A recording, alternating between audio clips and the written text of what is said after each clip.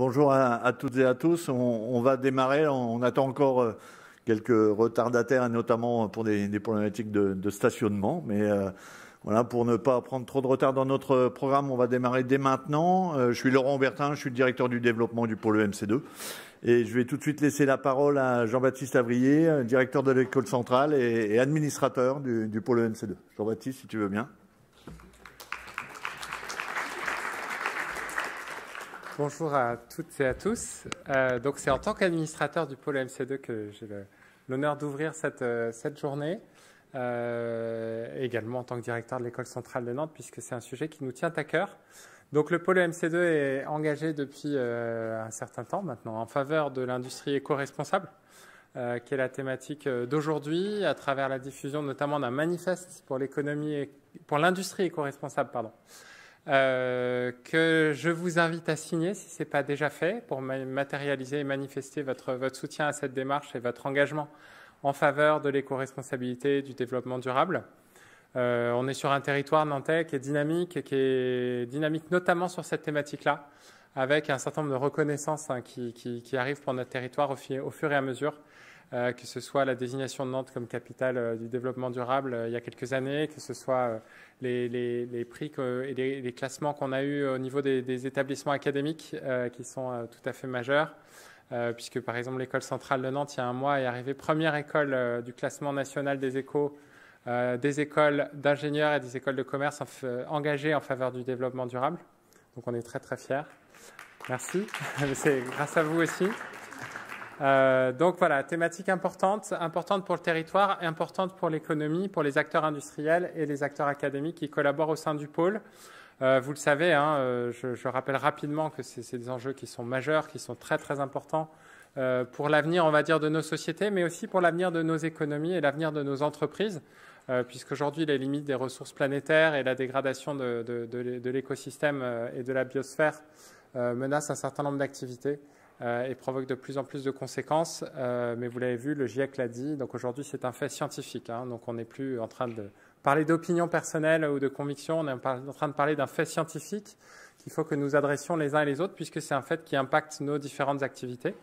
Et donc l'objectif, c'est de voir ensemble comment est-ce qu'on peut s'engager euh, pour affronter ces enjeux, pour apporter les meilleures réponses à ces enjeux, en faisant ce qu'on sait faire au sein du pôle, c'est-à-dire tout d'abord de la recherche et de l'innovation, et vous le savez, au sein du pôle et avec l'ensemble des acteurs, il y a un certain nombre de technologies, de thématiques de recherche et d'innovation qui sont directement en réponse aux enjeux de développement durable, que ce soit sur les matériaux, la durabilité, sur les process, euh, sur l'énergie, l'efficacité énergétique, les énergies renouvelables, etc. Donc beaucoup d'activités en lien avec le développement durable.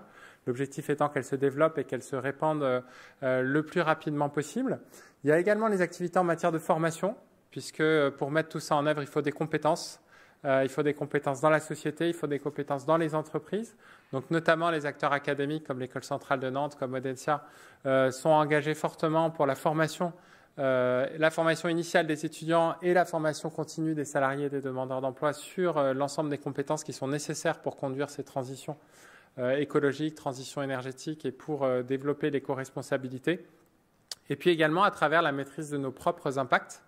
Euh, je crois que nous sommes un certain nombre à avoir engagé des démarches RSE, des démarches euh, de bilan carbone, de maîtrise de nos impacts euh, résolus et fermes et ambitieuses, puisque l'objectif, vous le savez, c'est d'arriver à, réduire à l'horizon 2030, réduire à peu près de 50% nos émissions de gaz à effet de serre et notre impact écologique, ce qui est un vrai défi pour l'ensemble des acteurs, que ce soit les acteurs économiques, industriels ou des acteurs académiques. Donc l'objectif, c'est de faire tout ça ensemble. Euh, pour répondre aux enjeux de la société et pour répondre aussi, là je voudrais euh, donner mon témoignage personnel en tant que directeur d'école d'ingénieur, répondre aux attentes des jeunes. Parce qu'aujourd'hui, on a des jeunes générations, des étudiants qui sont euh, demandeurs, qui nous poussent, et c'est très bien, qui sont engagés et qui souhaitent travailler dans une société qui s'engage en faveur de la transition écologique, en faveur de la transition énergétique, en faveur du développement durable. Et c'est en répondant à ces attentes des jeunes générations que nous allons pouvoir construire quelque chose de pérenne et que nous allons pouvoir préparer ce que nous allons leur transmettre, que ce soit en termes d'activité économique, technologique, de recherche, d'enseignement, etc. Donc c'est d'autant plus important, vous le savez, cet euh, atelier, cette journée aujourd'hui a été préparée par des étudiants, des étudiants du master spécialisé euh, acteurs pour la transition écologique, que je voudrais saluer, euh, qui est un... Voilà, qui est un master spécialisé euh, conjoint entre Audencia et l'École centrale de Nantes. Nous, nous sommes très fiers. Merci aux étudiants qui ont participé à la préparation de cette journée. Et je ne doute pas que les interactions entre les étudiants euh, et euh, les représentants des, membres du pôle MC2 seront très fructueuses et très riches. Merci à vous.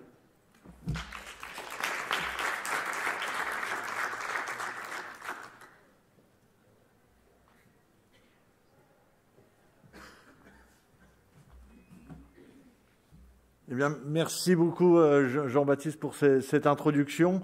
Euh, on a souhaité effectivement dans cette euh, manifestation faire une petite phase d'introduction, notamment par José Maillet, donc le, directeur de l'école Gaïa, qui va effectivement nous, parler des, enjeux du développement durable et de l'impact sur l'économie de ces, ces sujets-là.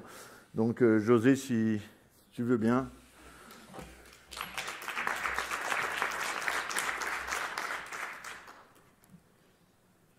Bonjour à toutes, bonjour à tous. Je tente. Bon, il manquait une, il y avait une diapositive d'introduction qui disait euh, bienvenue. Donc on va passer au sommaire directement. Euh, peut-être en amont. En fait, j'ai un décalage entre ce qui est présenté là et ce qui est là. Est-ce que c'est. Je reviens en arrière. Ah voilà, très bien. Euh, bonjour à toutes, bonjour à tous. Alors, en préambule, Jean-Baptiste Avrier disait, euh, enfin, présentait un peu les éléments intéressants sur le fait que l'environnement, notamment, vient, euh, par sa dégradation, impacter euh, nos activités, les activités des sociétés humaines, on peut le traduire par les activités économiques. ici, je vais partir un peu dans l'autre sens. Je vais montrer en quoi nos activités humaines, les activités économiques, ont un impact fort sur notre environnement. Et donc, on est dans une spirale qu'on va essayer d'endiguer. Mais c'est dans ce sens-là que je vais approcher cette présentation. Alors de quoi vais-je parler ici? Euh, bon, Énergie, biodiversité, climat, perspective socio-économique d'un monde bas carbone. Je vais faire un rappel euh, des grands enjeux du XXIe siècle à travers les trois points que vous avez ici l'énergie, la biodiversité et le climat. Ce sont trois composantes qui sont essentielles, qu'il faut intégrer dans les modèles et on a beaucoup de mal à le faire. On y travaille autant que possible. Alors au menu aujourd'hui, un premier point sur l'énergie, l'énergie et qu'en fait l'humanité. Qu'est-ce que c'est que cette énergie Déjà, un premier point de cadrage. Et puis ensuite, l'humanité en tant que telle, qu'a permis l'énergie Deuxième point, ce sont les conséquences, tantôt positives, tantôt négatives, de l'abondance énergétique. Donc modification des sociétés humaines pour euh, le meilleur et pour le pire. Et puis aussi modification de l'habitat pour le meilleur et surtout pour le pire. Et c'est un peu ce qu'on va voir. Donc on va peut-être plomber l'ambiance sur ce cette partie 2. Et puis en 3, Anthropocène et après. On va d'abord parler de la transition. On en parle beaucoup. Qu'est-ce qu'une transition? Sommes-nous engagés dans une transition ou dans des transitions? C'est une question qui me semble importante. Et puis, quels sont les leviers d'action pour, euh, pour changer de braquet sur ces enjeux de transition dont on parle beaucoup Et on le verra qu'ils sont euh, assez peu traduits dans les faits? Alors, première partie, énergie, humanité. Qu'est-ce que l'énergie? Une question banale. Pour les ingénieurs, c'est un, c'est une question simple. Pour euh, les non-ingénieurs, c'est parfois une question un peu plus épineuse. Euh, je le ferai, je le synthétiserai en une diapo. C'est arrivé à la fin du XVIIIe siècle, début du XIXe. On a commencé à parler euh, des lois de la thermodynamique. Vous avez plusieurs artistes qui sont ici, des scientifiques qui ont travaillé sur ces sujets. Lavoisier, Sadi Carnot, et puis Julius Robert von Meyer.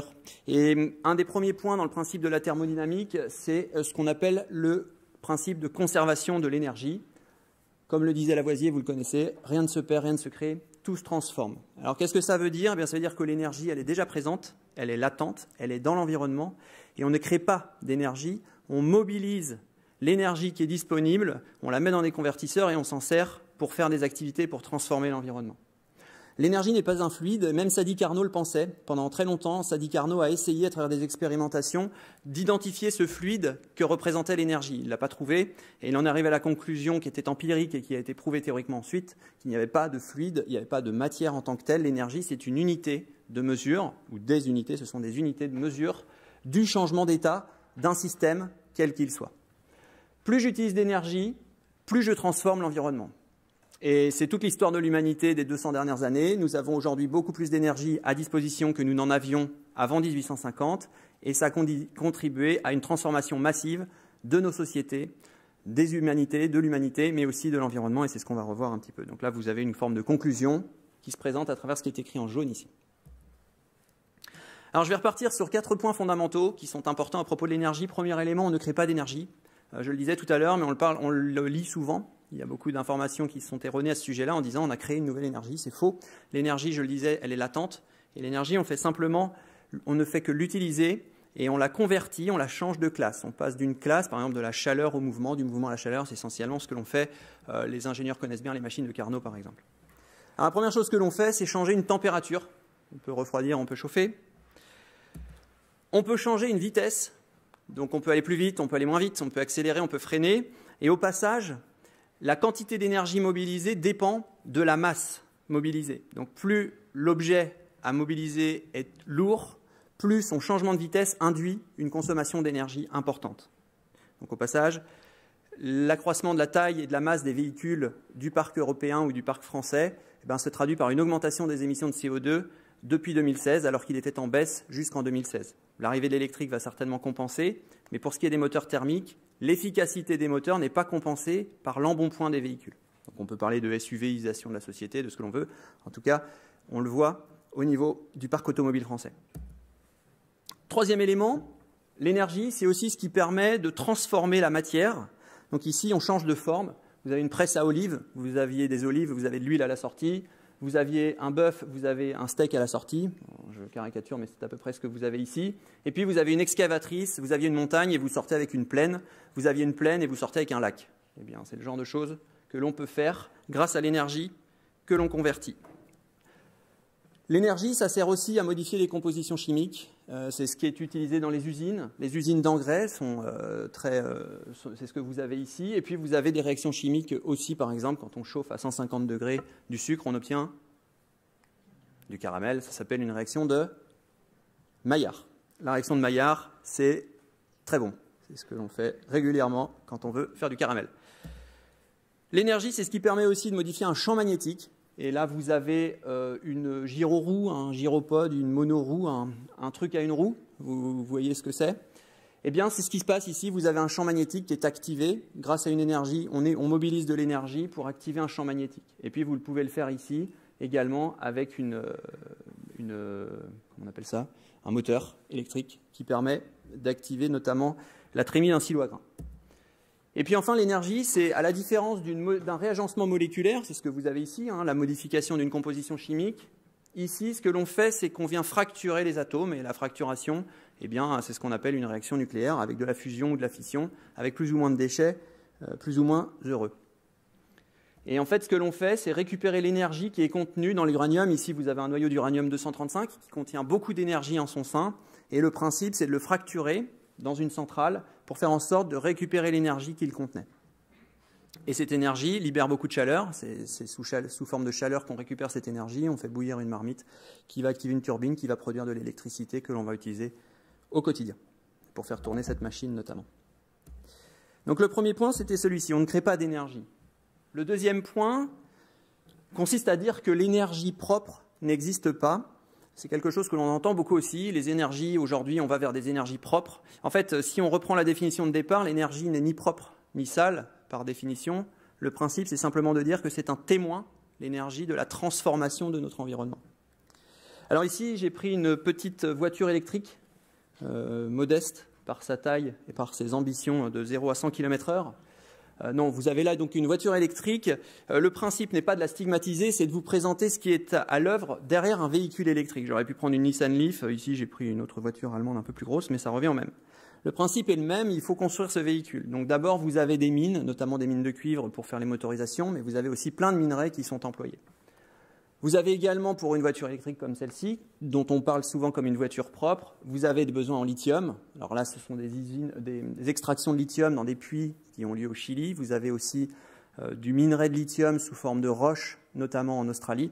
Les procédés d'extraction diffèrent et la pollution qui est générée également.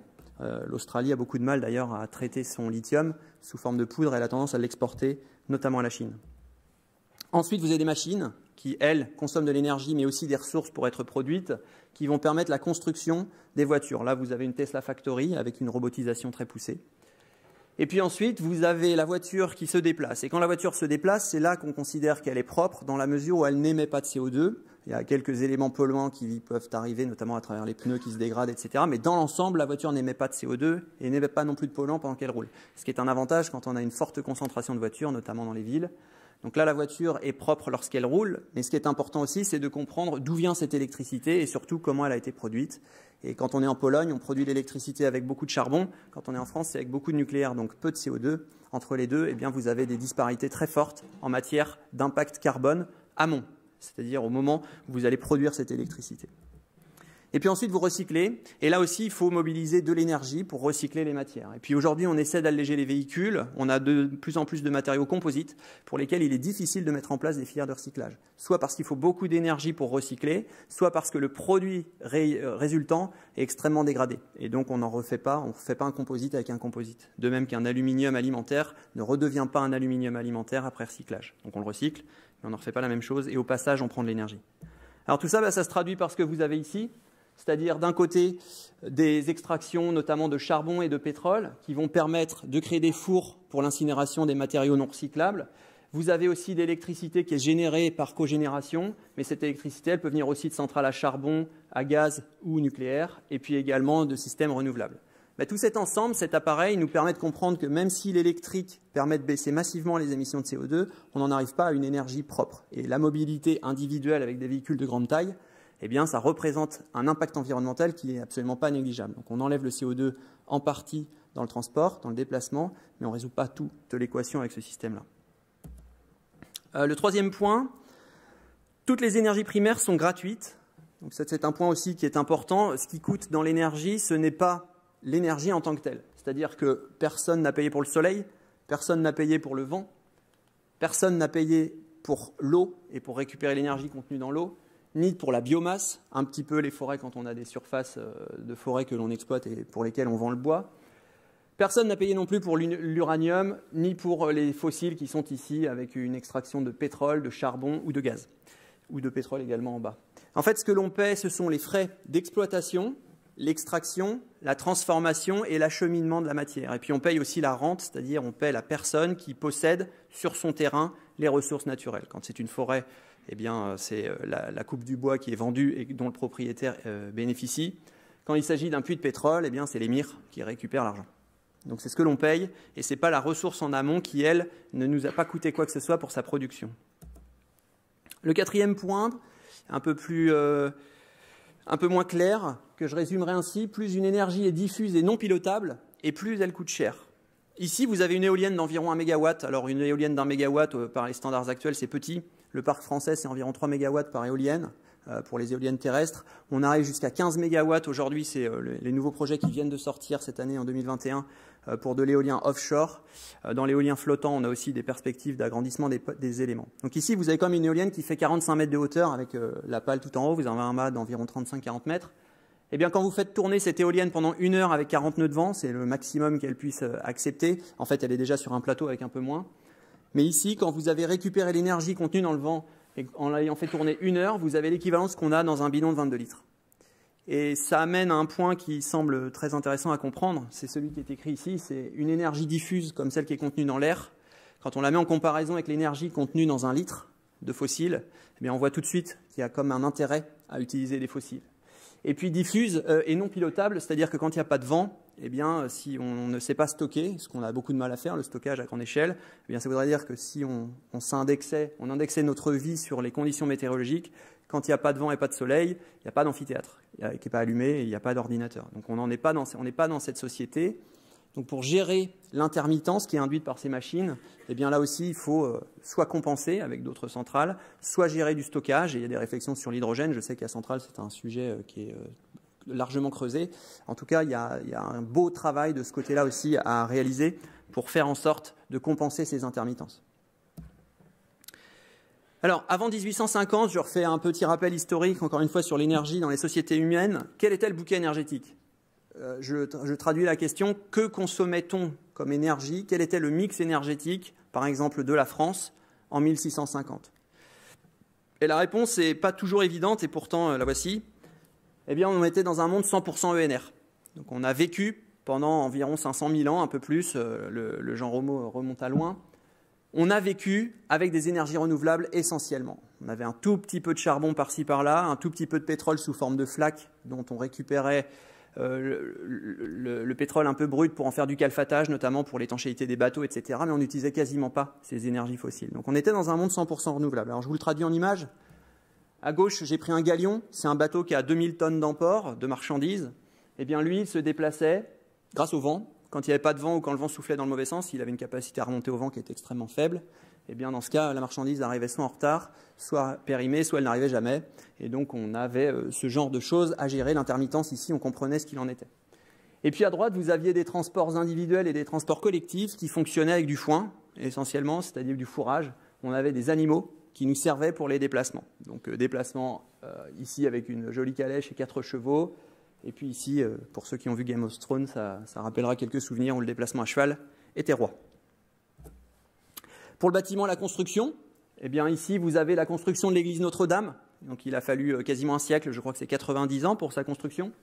Ici, vous avez les pyramides d'Égypte, c'est un peu plus de 90 ans pour sa construction. Construction 100% ENR, donc énergie renouvelable, avec notamment du pain, du vin, pas trop de vin, un peu de viande quand on pouvait et des légumes. C'est essentiellement comme ça qu'on a construit. Donc on avait une énergie contenue dans cette alimentation qui était envoyée dans des convertisseurs qu'on appelait des humains. Et ces humains utilisaient cette énergie pour activer leurs bras, leurs jambes et un peu le cerveau aussi quand même, pour faire en sorte de faire les constructions dont nous avons hérité et qui constituent une grande partie encore de notre patrimoine mondial. Pour l'agriculture, c'était la même chose. Vous aviez des machines et des humains, pardon, des machines, vous aviez des animaux et des humains qui fonctionnaient avec du fourrage et de l'alimentation pour humains. Et puis on avait quand même un petit peu aussi d'usage du vent et de l'eau. Donc c'était aussi des énergies renouvelables, mais qui cette fois-ci n'étaient pas ingurgitées par les convertisseurs, mais qui étaient associées à des moulins à eau et des moulins à vent. Après 1850, donc ça s'est fait progressivement, et je vous présente le mix actuel, nous sommes à 80% à énergie fossile. Donc on pourrait considérer que le reste est de l'énergie renouvelable. Eh bien même pas, parce qu'en dehors des fossiles, le nucléaire n'est pas une énergie fossile et est aussi une partie des 20% restants. Donc 80% énergie fossile et le reste c'est du nucléaire et des renouvelables. Alors si on, le reprend en image, on est passé de ce galion avec 2000 tonnes d'emport à ça, un super tanker chinois sorti en 2018, euh, qui fait 430 mètres de long, je crois. Il peut emporter l'équivalent de 110 galions, donc c'est quand même une belle machine. Il part pour trois semaines en mer, il arrive à l'heure, au jour près, à l'heure près, c'est à peu près ça. 23 000 conteneurs ici, hein, 23 000 camions, 230 000 tonnes d'emport. C'est à peu près de cet ordre-là. Donc c'est une euh, belle bête. Ça, c'est ce qu'on est capable de faire aujourd'hui en grande partie grâce aux fossiles. Et en plus, on arrive à l'heure, je le disais. Donc 110 galions. Pour ce qui est du transport, donc transport collectif et individuel qui fonctionnait à l'énergie renouvelable, eh bien, on est passé à l'énergie fossile extrêmement massivement. La mobilité aujourd'hui, c'est essentiellement des fossiles et essentiellement du pétrole. C'est vraiment l'énergie de la mobilité. Je ne vous fais pas de dessin sur la partie droite, je pense que tout le monde connaît à la fois les embouteillages, les problèmes de stationnement et aussi, bien sûr, le tourisme, comme on peut le voir avec le bus portugais. Pour le bâtiment et la construction, même chose, même combat. Je vous parlais tout à l'heure de la, la, cathédrale Notre-Dame, c'est au XIIe siècle, le début de sa construction environ 1160 et la fin de la construction c'est 1250. 90 ans, 100% ENR. Ici, vous avez la tour Burj Khalifa, 2004-2009, 828 mètres de haut, 50 constructions, 0% ENR. On voit aussi une petite différence entre les deux éléments. Donc euh, voilà aussi ce que permet les fossiles, c'est la formidable accélération de tout l'appareil industriel, productif, bâtiment, et je peux aussi vous montrer l'agriculture ici. L'agriculture qui est passée d'une agriculture à énergie renouvelable, à ça, une agriculture comme, euh, comme vous avez ici, euh, très fossile, avec des pompes, des systèmes d'irrigation, des machines qu'on appelle des tracteurs, etc. etc. Et ça, aujourd'hui, eh bien, vous avez un appareil productif au sein de l'agriculture qui est sans précédent. Aujourd'hui, en France, un agriculteur nourrit environ 200 personnes, en plus de lui-même et de sa famille. Si on recule avant 1800, un agriculteur nourrissait sa famille et deux personnes. Donc on voit aussi la différence avec une seule et même personne, la possibilité, grâce aux fossiles, eh bien, de décupler son appareil productif. Pour ce qui est aussi des renouvelables avec des moulins à air et des moulins à vent, eh bien, on a à peu près supprimé tous ces éléments-là dans l'agriculture. On n'utilise quasiment plus les renouvelables. Et là, vous avez une gigantesque minoterie qui vous présente notamment, enfin, qui vous sort une farine bien régulière et bien lisse. Et elle utilise, là aussi, essentiellement de l'énergie fossile ou de l'électricité qui elle-même en amont n'est pas forcément produite avec des renouvelables. Alors pourquoi Pourquoi en sommes-nous arrivés là? Je résumerai qu'un mot un peu fourre-tout, je dirais la praticité. C'est le fait que c'est extrêmement pratique d'utiliser les énergies fossiles et quand on l'a compris, eh bien on s'en est servi.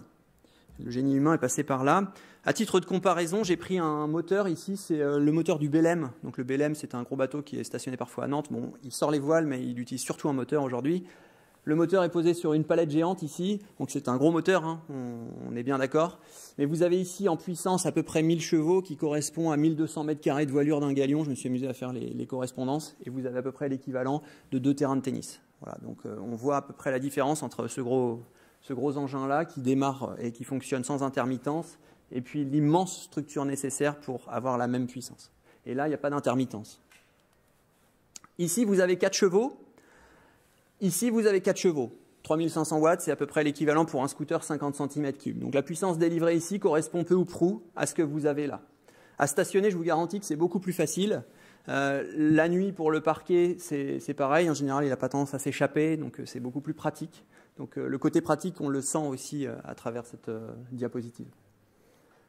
Là, j'ai essayé de trouver un équivalent de deux chevaux plus un humain sous forme de motoculteur, et j'en ai pas trouvé pour la raison simple qu'un motoculteur, ça démarre au bas mot à 6-7 chevaux, c'est souvent ça. Donc ce que j'ai été obligé de trouver pour avoir un peu moins de 3 chevaux, c'est une motobineuse, ça s'appelle même pas un motoculteur, et là vous avez une puissance équivalente. Voilà, donc ça donne aussi, euh, euh, je trouve que c'est intéressant d'avoir ça à l'esprit. Et puis enfin, là vous avez 8 euh, hommes qui sont en train de tirer une charge, chaque humain à peu près 200 watts de puissance instantanée quand il force avec ses jambes. C'est à peu près l'équivalent, multiplié par 6, c'est à peu près l'équivalent du palan qui est ici, qui fait 1500 watts qui est tout petit et qu'on actionne avec une télécommande et qu'on regarde avec dédain. Et pour autant, on peut se rendre compte, quand on compare les deux, que ce n'est pas rien. Alors le mix énergétique primaire mondial, euh, primaire, je fais un tout petit rappel, hein, c'est vraiment l'énergie que l'on prend directement au sens brut dans l'environnement. Ensuite, l'énergie finale, c'est celle que l'on met dans la voiture. Entre les deux, il y a eu de la transformation. Donc l'énergie primaire, celle que l'on prend de terre, essentiellement, mais aussi dans les airs. Hein. Vous avez ça, c'est la répartition. 33% c'est de l'énergie pétrole, 24% du gaz naturel et 27% du charbon. Donc on est sur un mix énergétique qui est à 84% fossile aujourd'hui. Et les 15% restants se répartissent entre un petit peu de nucléaire, un peu d'hydroélectricité et un peu de renouvelable. Alors souvent on me dit oui mais la France c'est pas le cas. On est sur un mix électrique qui est différent et c'est vrai, la France c'est environ 70% fossile et le nucléaire ne représente que 17% du mix énergétique. Alors pourquoi est-ce qu'on parle de 70 ou 75% Parce qu'on parle de l'électricité. Mais l'électricité ne représente qu'un quart des énergies mobilisées. Donc la, transformation, en gros, ici, vous reprenez un quart, ça sert à produire de l'électricité. Donc en France, on la produit au nucléaire. Mais encore une fois, l'électricité ne représente pas toute l'énergie mobilisée. Donc plus précisément, le mix électrique mondial, euh, l'électricité, elle n'est pas faite au nucléaire. L'électricité, elle est faite aussi avec des fossiles. Là, vous avez un mix énergétique qui est environ à 63% fossile, si vous sommez charbon plus gaz naturel et puis le petit pétrole qui est là. Donc l'électricité aujourd'hui, elle est essentiellement faite avec du charbon et avec du gaz naturel. Donc en France, encore une fois, ce n'est pas le cas, mais si on regarde en Chine, par exemple, les investissements avaient été figés au cours des dernières années sur les centrales au charbon, et depuis 2021, pour répondre à des besoins de croissance, on va le revoir un petit peu après, la Chine a rouvert de nombreuses centrales au charbon parce qu'elle ne peut pas euh, fournir à la demande, répondre à la demande. Ici, vous avez l'évolution de la consommation des principales ressources énergétiques. Ce qui est intéressant, c'est d'avoir une forme de vidéo plutôt que d'avoir une image figée comme les camemberts. Vous avez 29 bâtons qui correspondent à 29 années entre 1990 et 2017. Chaque année correspond à une quantité de consommation donnée. Donc la consommation des énergies charbon, pétrole et gaz n'ont fait qu'augmenter au cours des 27 dernières années. C'est ce que l'on peut voir ici, 29 dernières années, pardon. L'hydraulique a un petit peu progressé, le nucléaire est resté à peu près stable, il y a des enjeux géopolitiques derrière qui sont très complexes pour déployer le nucléaire en masse, et les renouvelables ont progressé énormément. Mais on voit bien quand même que si on somme gaz, pétrole et charbon, on arrive sur un, énorme bloc qui est absolument incomparable avec les renouvelables qui sont ici, qui sont très importants et qui sont finalement extrêmement peu importants dans le mix, électrique, dans le mix énergétique actuel. Donc euh, le bilan est très clair hein, quand on voit ce genre de résultats, c'est qu'il y a deux décennies qui ont été perdues sur les enjeux de transition ou de décarbonation de notre économie. C'est très clair ici, je pense. Alors la traduction sur les consommations, vous avez ici la consommation d'énergie par personne en moyenne mondiale. Que voit-on? Eh bien, on voit qu'à chaque fois, donc on démarre en 1800, on utilisait essentiellement la biomasse, et auparavant, pendant des millénaires, on utilisait la biomasse. Et puis est arrivée la découverte du charbon aux alentours des années 1840-1850, et le charbon est venu s'ajouter à la biomasse. Et puis ensuite, on a découvert le gaz, qui nous a permis aussi de transformer encore l'environnement de manière différente avec d'autres machines. Donc c'est venu s'ajouter au charbon. Et puis ensuite est venu le gaz qui s'est ajouté au pétrole, qui s'est ajouté au charbon, qui s'est ajouté au bois. Et on voit ici une, une forme d'empilement. Et donc on n'est jamais dans une transition d'une énergie à une autre, d'une ressource qui contient de l'énergie à une autre ressource. On est dans une addition énergétique. Et à chaque fois qu'on a un peu plus d'énergie à disposition, eh bien on ne remplace pas, on ajoute. Et ça pose les questions de l'Europe actuelle et de son projet de Green Deal en disant qu'on allait intégrer davantage de renouvelables. Est-ce qu'on y va pour faire une addition énergétique ou bien pour faire une transition énergétique? Rendez-vous dans dix ans. Pour l'instant, c'est plutôt une addition énergétique de manière très claire, c'est-à-dire c'est répondre aux besoins croissants d'une population, soit stable, soit en hausse, avec des demandes croissantes, notamment pour les pays d'Europe de l'Est. Alors ça, c'est la moyenne mondiale par personne. Mais la population a été, multipliée par un facteur 5 en l'espace de 150 ans. Eh bien voilà sur quelle pente nous sommes aujourd'hui. Et ça nous permet de voir d'abord toujours l'effet d'empilement et puis l'accélération remarquable avec un facteur 28. La multiplication ici, elle est par 28 entre ce que nous consommions en début des 1850 et ce que nous consommons aujourd'hui en termes d'énergie primaire. Donc on est passé par un facteur 28 et on n'est pas au bout de nos peines si on regarde un peu ce qui se passe après Covid. Et je vous montrerai juste après quelques résultats euh, croustillants du moment. Alors les conséquences de cette consommation, parce qu'à la limite, on pourrait se dire, euh, si on gère bien cette transformation de l'environnement, on pourrait aller vers quelque chose qui est positif. Et c'est là où, eh bien, c'est pas si clair. D'abord, les aspects positifs, l'espérance de vie. Quels que soient les continents, l'espérance de vie a littéralement explosé, avec une moyenne à 35 ans, une moyenne mondiale à environ 35 ans, qui est aujourd'hui aux alentours des 65 à 70 ans en moyenne mondiale. Alors certes, on a des inégalités qui sont très fortes, et on le voit notamment avec l'Afrique qui a un net décrochage par rapport aux autres continents, mais quand bien même il y a un décrochage et des inégalités qui sont fortes, il y a des inégalités qui se creusent davantage par le haut que par le bas si on regarde la démographie et si on regarde l'espérance de vie. Donc ici, on voit bien notamment cette accélération incroyable. Et on, peut supposer que l'accès à l'énergie qui derrière a permis de développer des systèmes de santé, a permis de faire plein de systèmes de protection, etc., nous a permis bah, de, progresser sur le plan de la démographie, de la santé, etc. L'énergie a cette responsabilité très probablement. Population, démographie cette fois-ci. Vous voyez la petite courbe d'accélération, c'est un point qu'on connaît bien. Euh, j'ai repris jusqu'à 10 000 ans euh, avant notre ère. Bon, on voit qu'il y a quand même une forme d'accélération très très récente et qui est extrêmement corrélée, corrélation épreuve, attention, causalité, mais qui est quand même extrêmement corrélée avec la disponibilité euh, des ressources naturelles, la mise à disposition d'une énergie dont on ne connaissait rien auparavant. La croissance de la population mondiale, un tout petit point quand même de précision, le, taux de croissance annuel n'a fait que monter jusqu'en 1968. Mais en fait, depuis 1968, on a un taux de croissance annuel en baisse. Ça ne veut pas dire que ça ne croît pas, mais ça croît moins vite. Et donc on voit un tassement qui commence à s'opérer. Alors pourquoi est-ce qu'il y a un tel décalage? Ben, Parce que, on le voyait précisément euh, dans la diapositive précédente, vous avez aussi une augmentation de l'espérance de vie qui fait un stock d'humains sur cette planète un peu plus important. Donc à cause de cet euh, élément, un stock d'humains plus grand, eh bien, vous avez un décalage dans le temps avant de voir un tassement, voire une baisse de la population mondiale, mais on est bien sur ces trajectoires-là, et aujourd'hui ça ne fait que baisser, encore une fois, ce taux de croissance.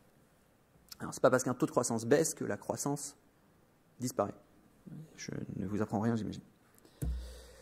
Alors, dernier point sur euh, cet élément, je parlais des capacités, de la démographie, de la santé.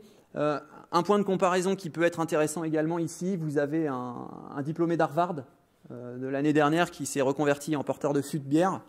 Et ici, on, voit à peu près la capacité, la force pardon, qu'il est capable de générer et en gros l'énergie qu'il est capable de libérer sur une année. Et avec ses bras, il est capable de libérer environ 10 kWh par an d'énergie et avec ses jambes environ 100 kWh. Donc ça, c'est des unités qui sont assez classique. En gros, on, regarde un peu euh, ce qui est capable de fournir un humain. Et puis ensuite, on le compare avec un baril. Et on voit qu'ici, dans un baril de 159 litres, vous avez l'équivalent d'une personne qui travaillerait à temps plein pour vous pendant 12 à 15 ans. Donc on est euh, dans un...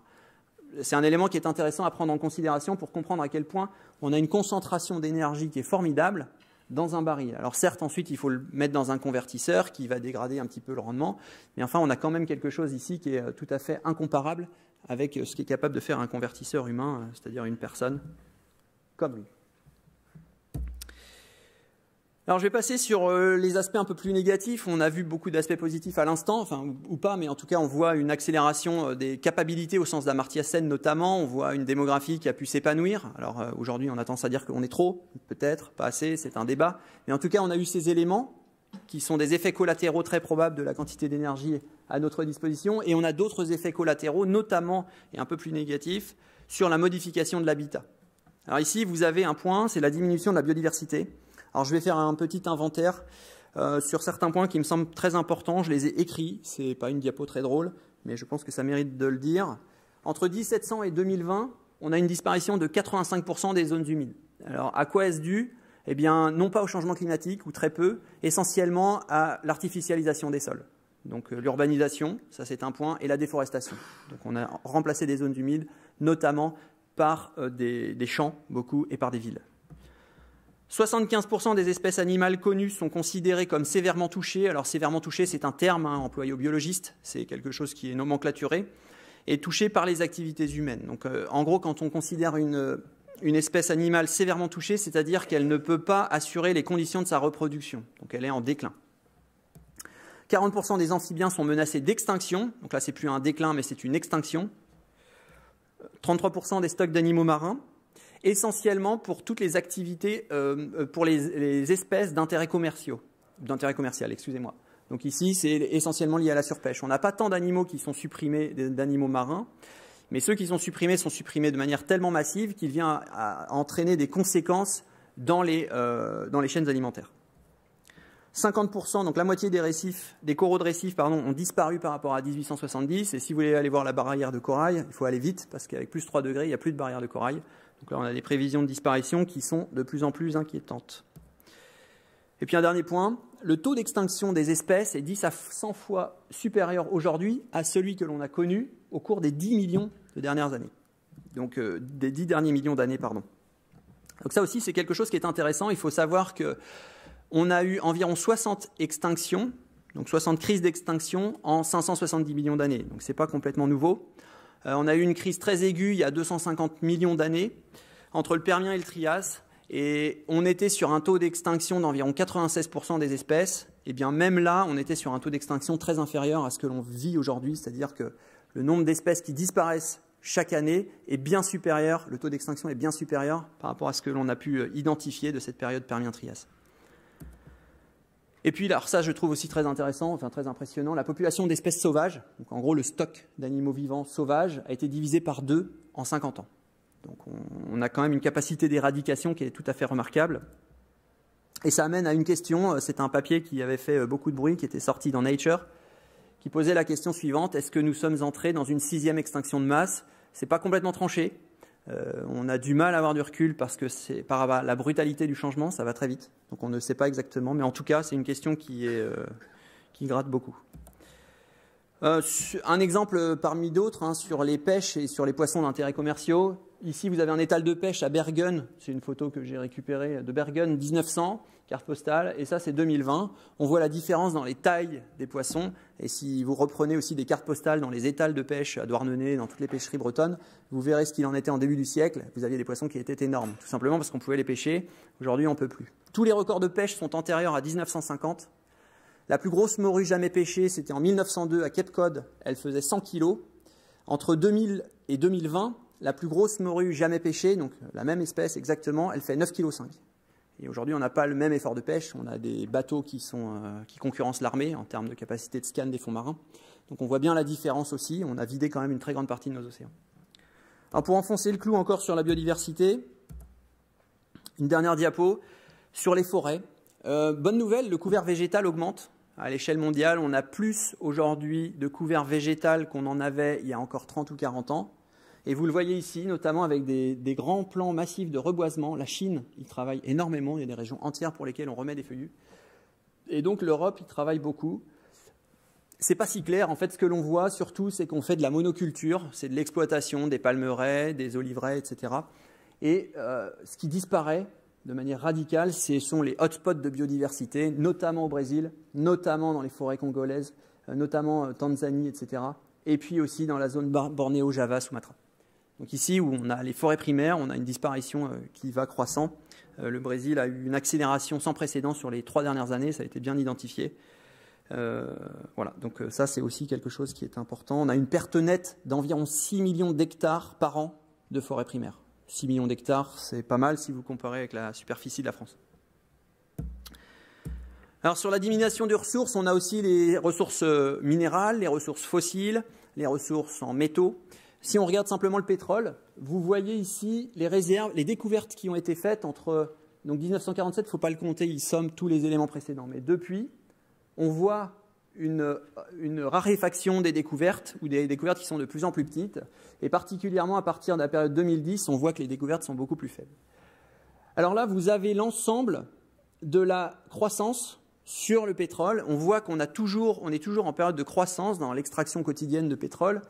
En fait, le pic pour le pétrole conventionnel aurait probablement été passé, c'est l'AIE qui le dit, en 2011, entre 2008 et 2011. Depuis, on ne trouve plus suffisamment, donc le pétrole conventionnel diminue. Mais les pétroles de schiste, les pétroles de sable bitumineux notamment, vont plus que compenser cette décrue qui est ici. Donc aujourd'hui, on est encore sur une capacité d'extraction de fossiles croissante. Mais en revanche, ça se fait au détriment d'un retour sur investissement énergétique, c'est-à-dire qu'il faut beaucoup plus d'énergie et c'est beaucoup plus polluant de réussir à, récupérer, à transformer ce pétrole non conventionnel pour le mettre dans nos véhicules et dans nos machines. Alors ça amène aux questions des autres pics. Bah, le pic gazier, euh, les ingénieurs le savent également très probablement, il a été passé il y a environ 40 ans, fin des années 70, un peu après, les années 80. Pic de charbon, il y a encore du stock. Il y a au moins 100 à 150 ans. Ce n'est pas très clair sur les données. Pic de l'uranium, aucune idée. Vous avez euh, plusieurs recherches qui sont faites. Il y en a deux notamment qui travaillent, Energy Watch Group et OCDE. les données ne sont pas claires, donc on ne sait pas tellement. Après, il y a les questions sur le reste du tableau de Mendeleïev. Hein. Vous prenez euh, cuivre, argent, phosphore, etc. Et on ne sait pas exactement.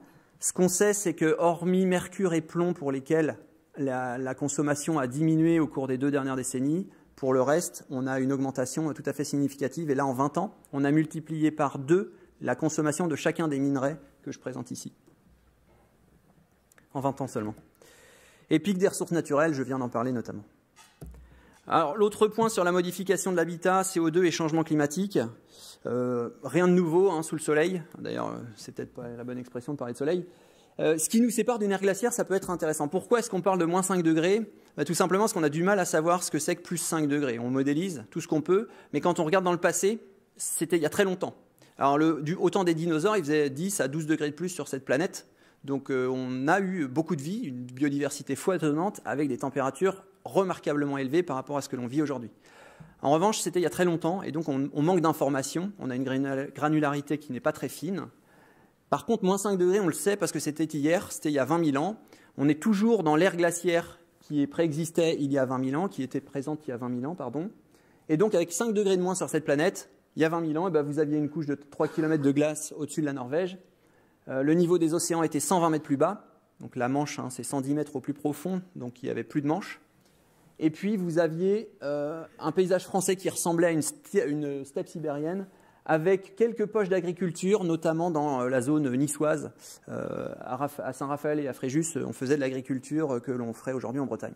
Donc c'était à peu près ça, l'état de la planète, avec 5 degrés de moins. C'était il y a 20 000 ans. On a quelques analyses. Donc 5 degrés de plus, on ne sait pas. On a quelques tendances quand même. Euh, la première, c'est de voir une tendance au réchauffement sur les extrêmes, donc sur les pôles. Ici, vous avez une carte qui vous montre les changements de température entre deux périodes. La période 2011-2020 et la période 1951-1980. Donc sur cette période-là, vous faites une moyenne de la période et vous faites une moyenne sur cette période-là. Et vous comparez entre les deux. Et ce que l'on voit, eh c'est qu'en fait, on a une augmentation d'environ 4 degrés de la température en moyenne sur ces zones-là, ici et ici. Donc on voit que sur la dernière décennie, on a une augmentation de la température en moyenne qui est très forte. Ici, c'est juste une extraction de 2018, qui a été l'année à cette, à cette époque-là, 2018, l'année la plus chaude jamais enregistrée par nos machines. Et là, on était sur un écart de 6,8 degrés, et un record étant fait pour être battu, eh bien, en juillet 2020, l'année la plus chaude jamais enregistrée, on a eu des écarts allant jusqu'à 10 degrés, notamment dans cette zone euh, qui pose quelques problèmes de permafrost qui se dégèle et qui pose des grosses inquiétudes sur des libérations de méthane, notamment, qui est un gaz à effet de serre 25 fois plus puissant en termes de réchauffement que le CO2. Donc ici, vous avez des poches de méthane qui sont séquestrées dans euh, de la glace, et quand ça vient à chauffer avec 10 degrés de plus, vous faites fondre la glace, et ça, eh bien, ça fait libérer une partie du CO2, euh, du méthane contenu dans le permafrost. Donc on voit quand même une accélération tout à fait remarquable sur la fin de la décennie, et ça amène à certaines inquiétudes. Alors, dernier point, il y a une modélisation qui a été faite sur les prévisions de record de chaleur si on fait business as usual, c'est-à-dire si on ne fait pas cette transition dont on parle. Eh bien, voilà, ça, c'est ce que l'on a vécu, notamment ici, ça, c'est un record de chaleur qui a été atteint il n'y a pas si longtemps que ça. Et voici les prévisions pour 2050. Donc, c'est un consortium Météo France et CNRS 2017-2018 euh, qui fait des prévisions sur les chaleurs auxquelles il va falloir s'attendre sur des pics de canicule. Je vous laisse regarder, c'est assez impressionnant. Euh, ça donne quand même une idée du budget clim qu'il va falloir mettre en place. Je plaisante, il va falloir trouver peut-être d'autres solutions. En tout cas, ça vaut le coup d'y réfléchir. Troisième et dernière partie, et j'en conclurai sur ce petit bloc. Anthropocène et après, transition, quelle transition? C'était la question que je posais en préambule. Vous avez, euh, je vous ai parlé notamment de l'addition énergétique. Euh, je vous présente les données telles qu'elles sont, toutes récentes. La comparaison, la variation des émissions de CO2 entre le premier semestre 2019, donc euh, avant Covid, janvier-juin, et le premier semestre 2021, janvier-juin. Bah, ce que l'on voit, c'est qu'en moyenne mondiale, on a une baisse des émissions de CO2 de 1,2%. L'objectif, hein, pour faire euh, vraiment respecter l'accord de Paris de degrés, c'est moins 5% par an. Donc la crise que l'on a vécue, à moins 1,2, elle est très insuffisante. Donc en Europe, ça a été un peu différent. Ce qui a été le grand driver, celui qui a poussé la croissance, eh bien, c'est celui-ci, c'est la Chine. Et donc la Chine, entre janvier 2019 à juin et euh, janvier-juin 2021, eh bien, elle, elle a fait plus 9,5%.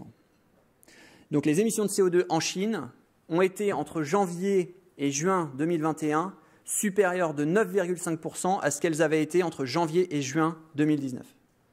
Donc euh, le monde d'après pour la Chine, ce n'est pas encore là. Et quand je parlais tout à l'heure de réinstaller des centrales au charbon, bah, c'est précisément parce qu'il y a des besoins immenses et qu'elle n'arrive pas à fournir. Donc elle développe ce qu'elle peut pour réussir à maintenir l'atelier du monde qu'elle est.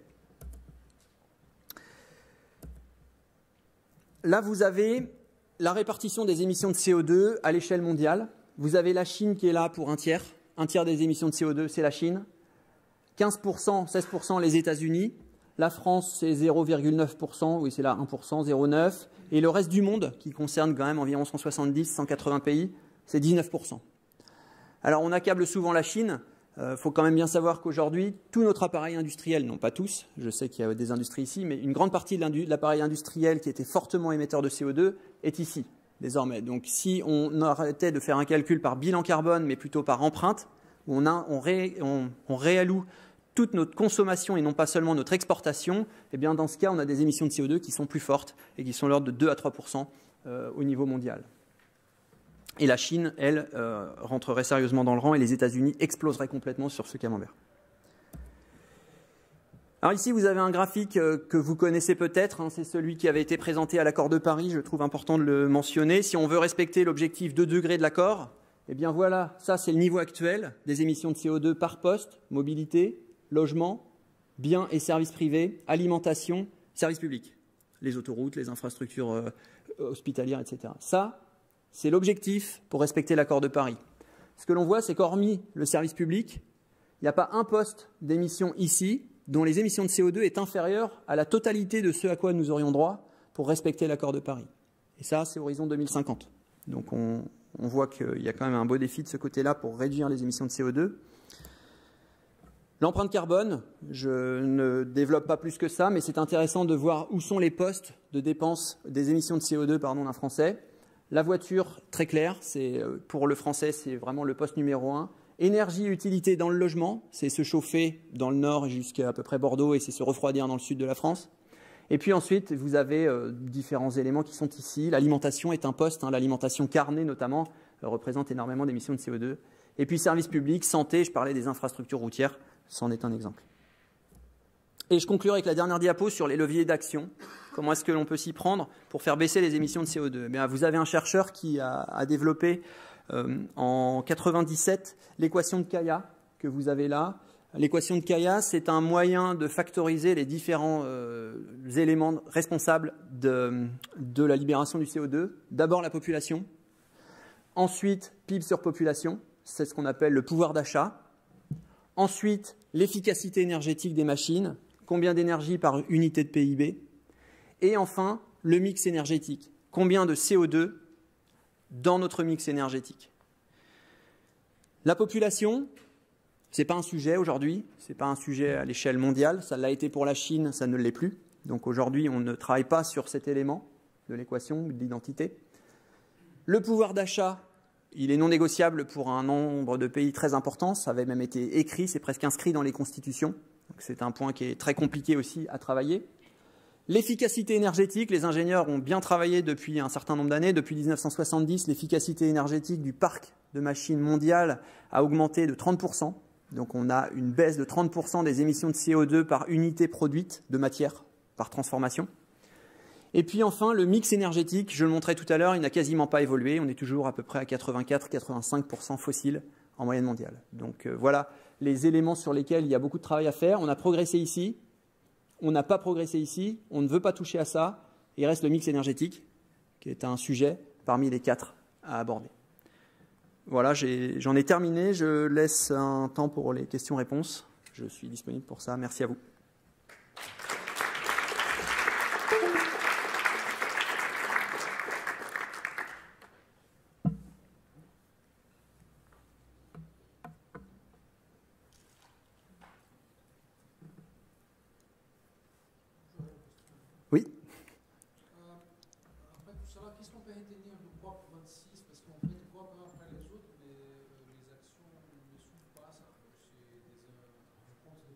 mais finalement ça revient aux politiciens de, de mener un peu ça.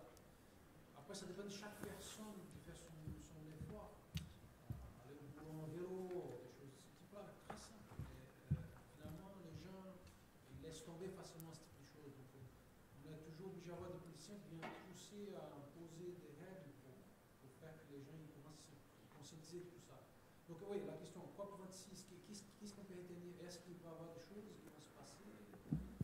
Alors, euh, je, répondrai en, pour ce qui est de la COP26. La, question qui a été posée était de savoir ce qui, ce avait permis la COP26.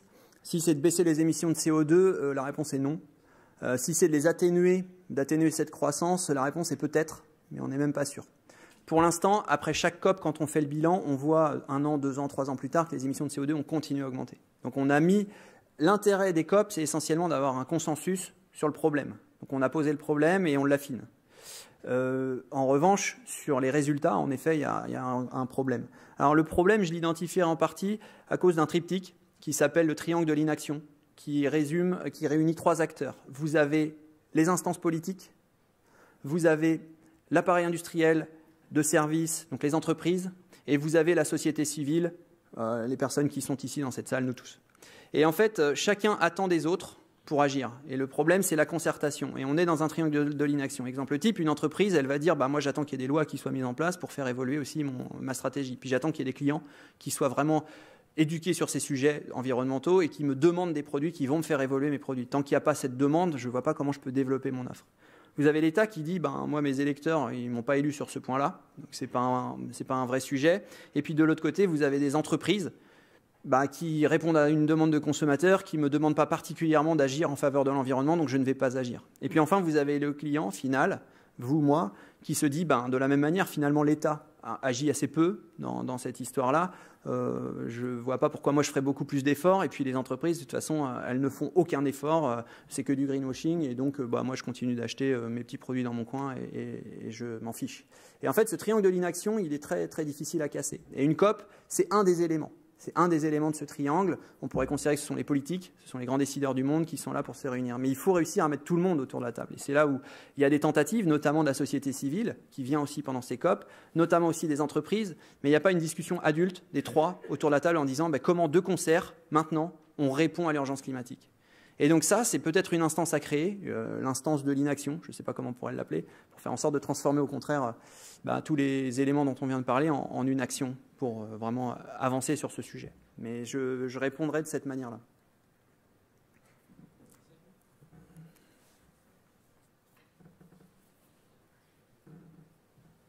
Oui Moi, j'aurais une question, en fait, euh, sur la manière, en fait, dont Audencia, en fait, agit pour essayer, en fait, de sensibiliser les étudiants, accompagner les entreprises, en fait, euh, parce qu'effectivement, il y a cette prise de conscience qui est importante, mais effectivement il faut jouer le rôle et je pense que et je sais en fait que tu agis pour, pour cela. Peut-être que tu peux présenter un peu plus comment en fait on intègre ça aujourd'hui dans toutes nos formations.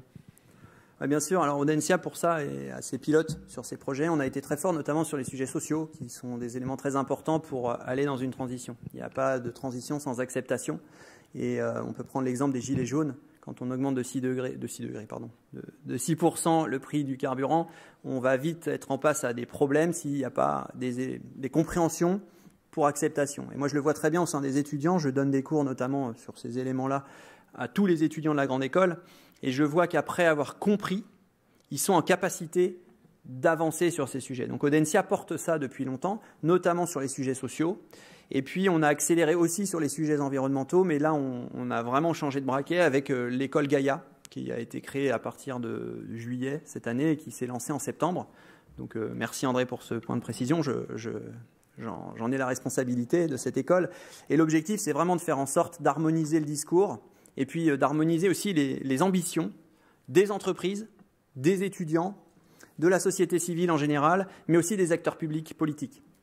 Et ça, bah, c'est un gros défi. On, y travaille et on fait en sorte d'amener des contenus qui soient à destination, qui seront à destination à la fois des étudiants, mais aussi des entreprises qui travaillent en concert. Et puis on intègre aussi la collectivité, parce qu'il y a un ancrage local qui est très important dans les enjeux de transition. Donc, ce sont tous ces éléments que l'on porte. Voilà, donc Gaia, c'est une façon d'accélérer ces sujets-là. C'est une petite structure agile au sein d'une grande structure qui a une belle histoire sur les sujets de RSE. Et c'est de faire en sorte de développer les petites recettes qui marchent dans cette petite école à grande échelle dans la grande structure à terme. Donc euh, ça n'a pas vocation à être une école indépendante, mais plutôt une forme d'embryon sur euh, des sujets d'innovation et notamment sur ce travail, dont, sur le triptyque dont je parlais tout à l'heure.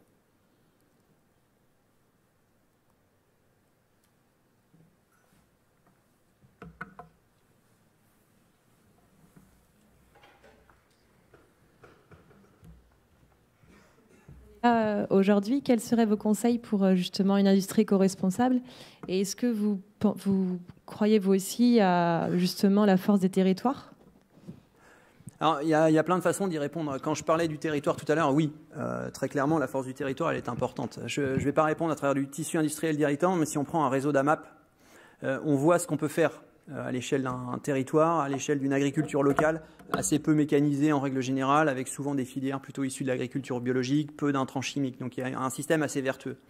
Néanmoins, c'est bien d'avoir cet ancrage local, mais si vous regardez euh, les réseaux d'AMAP aujourd'hui, vous n'avez pas spécialement des espèces qui sont endémiques dans la production. Donc on peut faire pousser des panais comme de la patate douce en Bretagne. Peut-être qu'il serait intéressant aussi d'avoir un peu plus de coopération entre les AMAP, de synergie.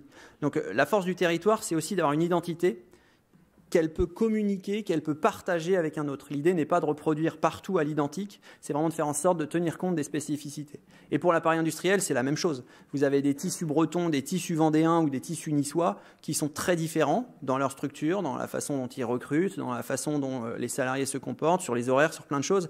Bah, c'est important d'embarquer aussi les populations dans le projet. Donc euh, la, notion de territoire, pour moi, elle est très importante il faut la prendre en considération, mais il faut de la coopération, il faut de la synergie entre les différents acteurs. Et puis au-delà de ça, moi je forme aussi des comités de direction à des fresques du climat, à des compréhensions de ces enjeux-là. Un problème fort, c'est la méconnaissance de ces enjeux par un grand nombre de nos décideurs. Et, la raison est claire, c'est que les sciences dures, c'est quelque chose que l'on voit beaucoup moins aujourd'hui qu'on ne le voyait auparavant. Et dans les sciences dures aujourd'hui, on intègre des éléments d'énergie climat. Dans les écoles de management, on ne le faisait pas il y a encore trois ans. On le faisait un peu, par-dessus par la RSE notamment, mais on ne quantifiait pas. Les éléments que je vous amène ici, par exemple, sur l'énergie consommée, etc., et sur les ordres de grandeur, on ne les avait pas trop. Donc euh, on avançait un peu comme ça. Et l'idée, c'est de faire en sorte, justement, demain, d'avancer efficacement, concrètement dans la bonne direction. Donc c'est aussi par euh, l'apprentissage, par de la formation, tout au long de sa vie, qu'on peut être en capacité de comprendre des données d'ingénierie, des données de sciences dures, de physique, de biologie, de climatologie, qui vont permettre d'agir de manière euh, efficace, efficiente. Donc aux entreprises, oui, le savoir, je pense que c'est un point euh, qui est très important. Et, et, ensuite, quand on a les ordres de grandeur, on comprend mieux aussi ce qui se joue en interne, ce qui nous coince, et comment on peut faire pour avancer sur ces thématiques-là.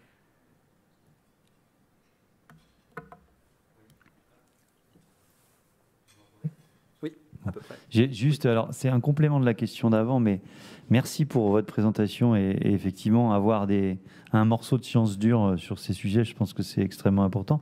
Je comprends que vous, euh, une part de votre euh, programme entre guillemets, c'est d'abord de sensibiliser ou plutôt de faire prendre conscience. Je pense que le mot est meilleur, mais si vous aviez trois minutes pour décrire votre programme d'action, ce serait quoi globalement? Parce que là, vous avez fait un, une vraie prise de conscience très générale. Et du coup, votre programme d'action générale à vous, Monsieur Maillet, vous, si vous étiez président du monde, vous feriez quoi? Vous, Ça serait quoi votre programme?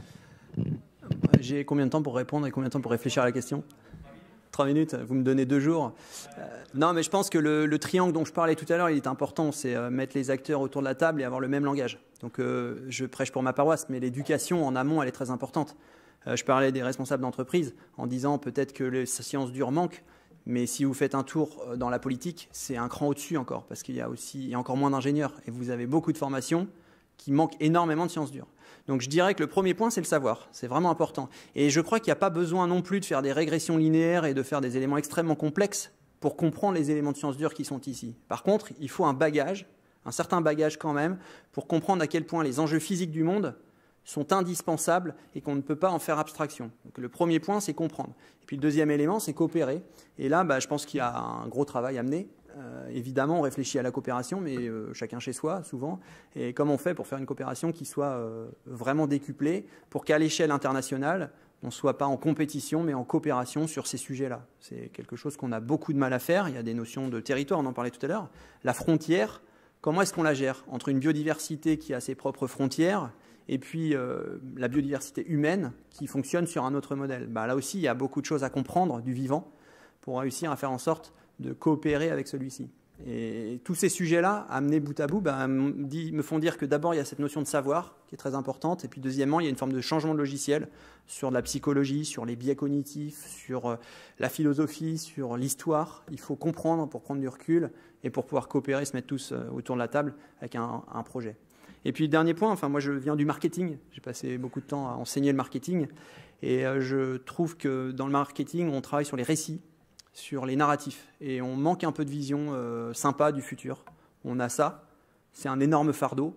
Et derrière, comment est-ce qu'on fait pour partir de manière motivée sur ces sujets-là? Ben, on, a un vrai travail de ce côté-là et il faut réussir à faire en sorte d'embarquer aussi les gens dans un projet, parce que c'est très intellectuellement stimulant de travailler sur ces choses-là, et d'essayer demain de faire de la coopération pour développer des éléments qui contribuent réellement à une transition écologique et sociale c'est extrêmement stimulant, ça peut être très vertueux et ça peut être une source de satisfaction aussi pour une société. Donc euh, il y a aussi ce changement de récit à, mettre en œuvre. Trois minutes.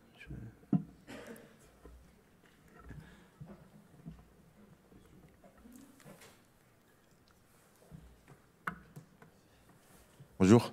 Bonjour. Euh, je reviens sur, sur, la fameuse équation avec le pouvoir d'achat sur lequel on ne touche pas. Est-ce que dans vos formations, vous avez un, pavé sur, par exemple, sur l'éthique de consommation, l'éthique environnementale? Et si, par exemple, vous auriez un petit module sur, euh, sur la décroissance, même si elle est euh, contradictoire au développement économique, mais si vous prenez un peu cette euh, philosophie de décroissance et de consommation responsable? Alors la réponse est oui, on ne peut pas en faire l'abstraction. Précisément parce que quand je vous présente la raréfaction progressive des ressources, on va sur la décroissance. le stock de poissons diminuant, on a moins de poissons. Donc après, entre la diminution des flux physiques, qui est un point, la décroissance sur les flux physiques, qui est essentielle pour faire une transition, et la décroissance économique, ces deux sujets, ce sont deux sujets très différents. Et on peut tout à fait imaginer avoir une forme de richesse économique plus forte en ayant moins de ressources. Parce qu'en fait, la façon dont on comptabilise les éléments pourra être prise différemment.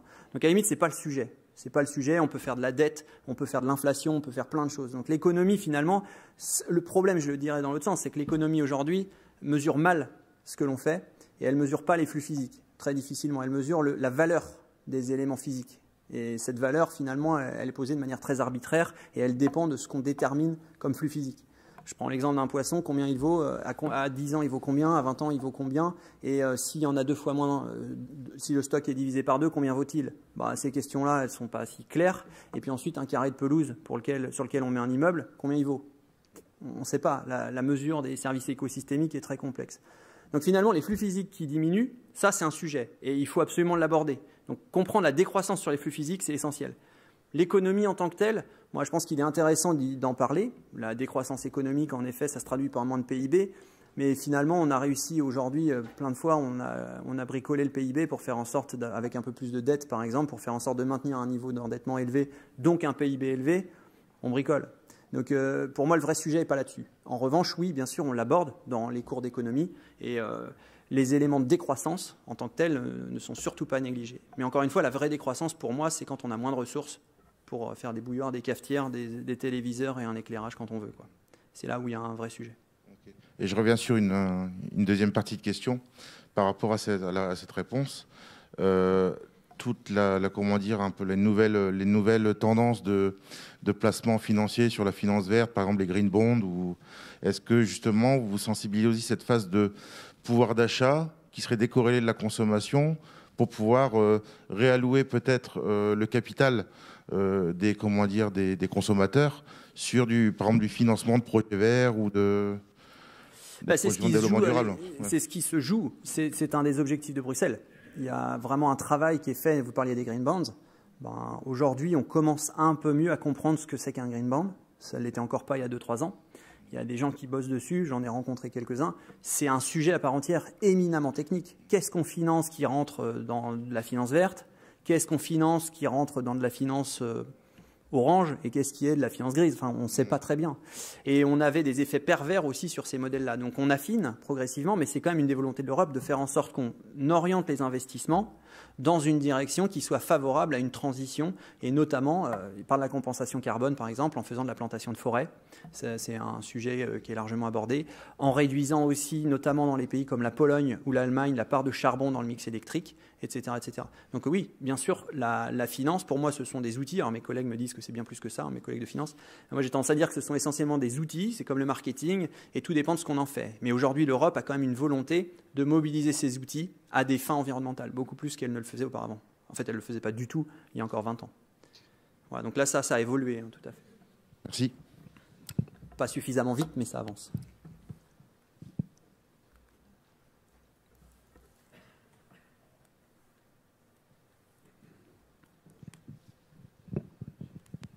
Je crois qu'on a fait le tour. Un, grand, grand merci, euh, José Maillet, pour l'excellente présentation que vous nous avez faite.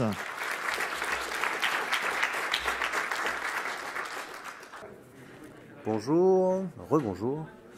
Je ne sais pas si tout le monde est encore arrivé, mais on va recommencer euh, l'activité. Alors on va passer maintenant dans le temps de restitution. On vous a demandé de travailler un peu sur les, sur les thématiques que vous souhaitez aborder à travers euh, deux cartes. Et je vais inviter chaque groupe avec les animateurs à venir euh, restituer ces sept ou ces cartes ou thématiques que vous voulez aborder maintenant. Le chrono est très court, on a deux minutes par groupe, donc ça, pas, il ne s'agit pas de développer particulièrement non plus. Mais je vous invite, j'invite le premier groupe c'était la couleur euh, bleue Jaune. Les jaunes. Les jaunes ne sont pas là.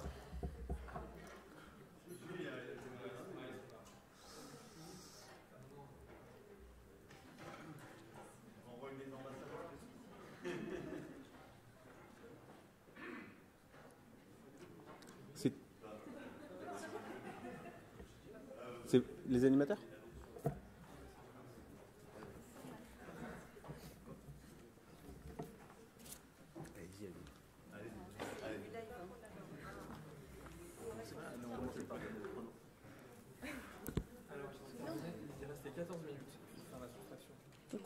Celui-là 36 minutes. 36 minutes pour la première équipe.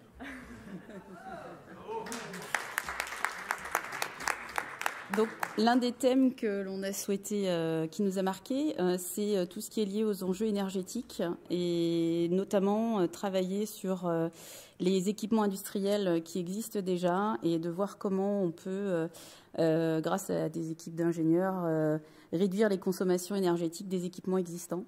voilà, donc faire appel à des, bureaux d'études d'ingénierie qui, ont les compétences pour revoir les consommations énergétiques des, des, machines.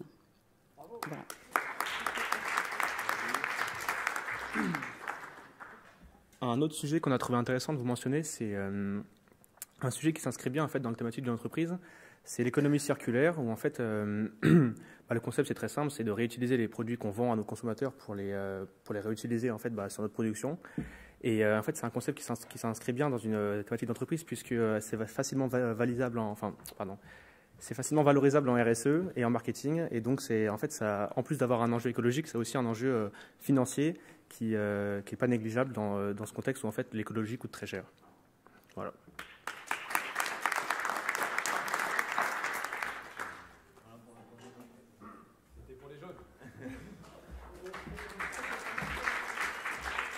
Bravo à eux. je vais appeler l'équipe suivante qui est, on va appeler l'équipe rouge.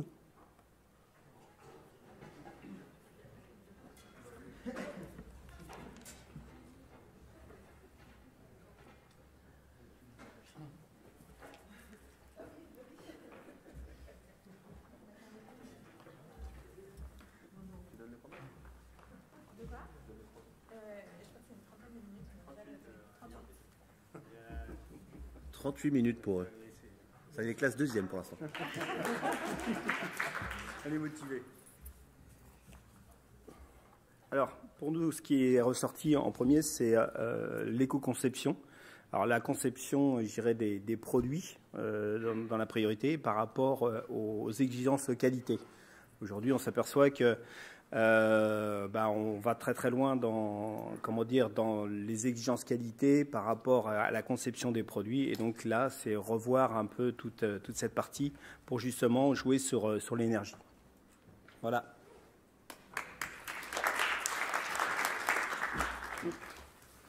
Alors dans le, dans le, même esprit, on va garder la continuité de la conception. ce qui serait intéressant de voir, c'est de, de, concevoir des produits par fonctionnalité. Euh, tout à l'heure, on prenait l'exemple des pneus Michelin. Ce serait plus de vendre un pneu, mais c'est de vendre un kilométrage d'utilisation. Voilà, donc ce, principe-là serait intéressant euh, à, mettre en place.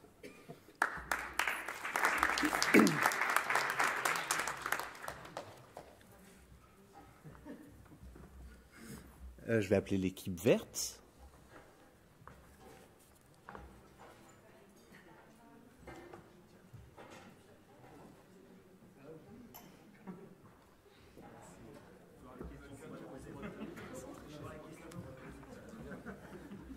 Alors j'ai une petite contestation des règles, mais leur temps c'est 43 minutes.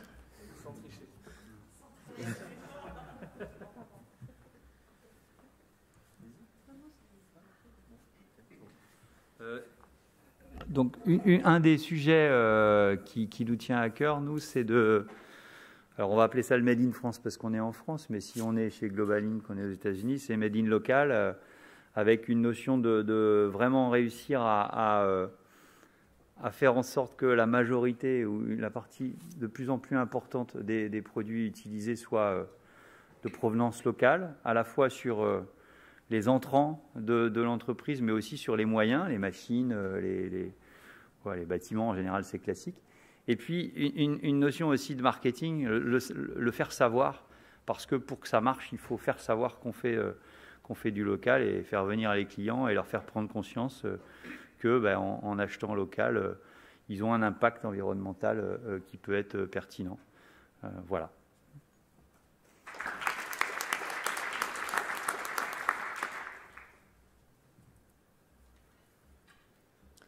une autre question qui a été abordée également, c'est par rapport à la fin, les limites écosystémiques de la planète Terre, ce qui pose la question de la consommation des ressources naturelles.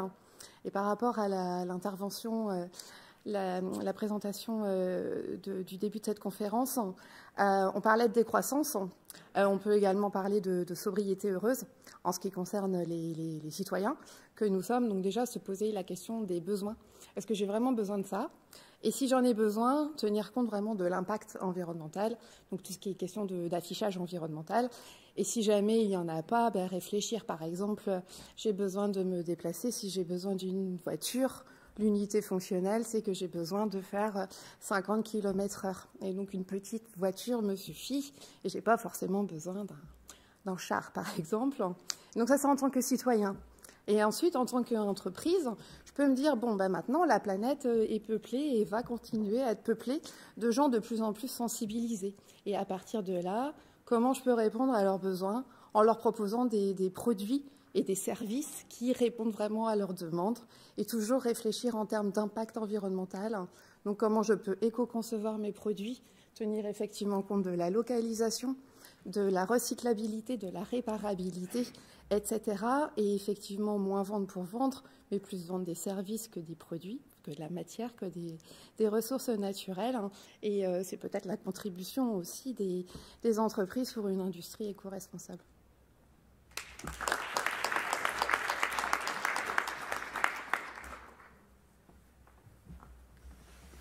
Est-ce que l'équipe bleue peut descendre, nous rejoindre?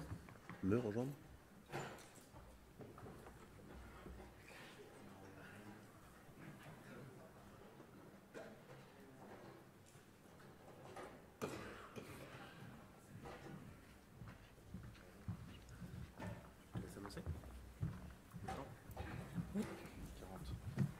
Euh, bonsoir. Alors nous, l'équipe bleue, on a mis 40 minutes, sans tricher.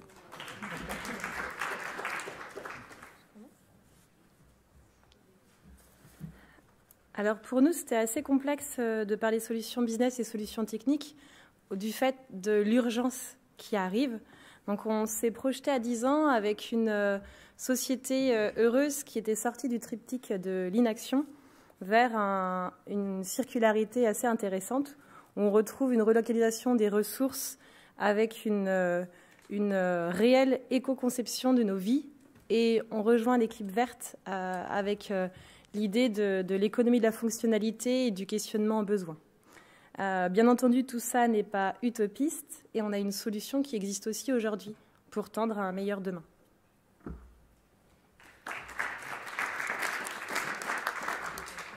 Donc c'était pour donner l'exemple d'une usine de cycle qui est adhérente du pôle MC2, donc euh, peut-être il y a un représentant ici, et euh, qui euh, euh, s'est redéveloppée suite notamment à un achat par une marque bien connue, et qui, du fait de se redévelopper sur l'usage du vélo, la fabrication de vélos, a eu besoin d'opérateurs, donc a redéclenché un cycle de formation auprès de l'UMM, qui dès lors crée de la formation chez les jeunes et sur des bases donc d'emplois locaux. Et si on décline l'utilisation du vélo en local, euh, ce qui veut dire qu'on utilise le vélo aussi pour se déplacer, donc on diminue aussi l'impact carbone du déplacement.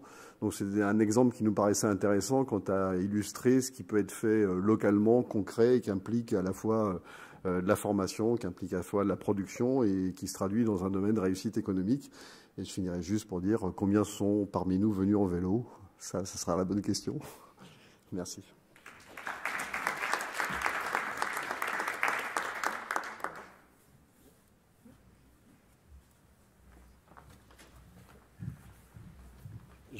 Je vais, inviter, l'équipe violette à venir.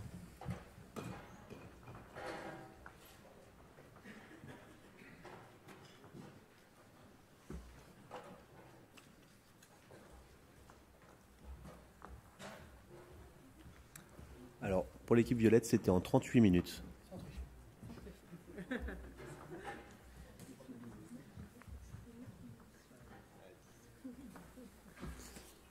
Alors nous, on s'est intéressé, on a été euh, interrogatif sur la responsabilité euh, étendue des producteurs.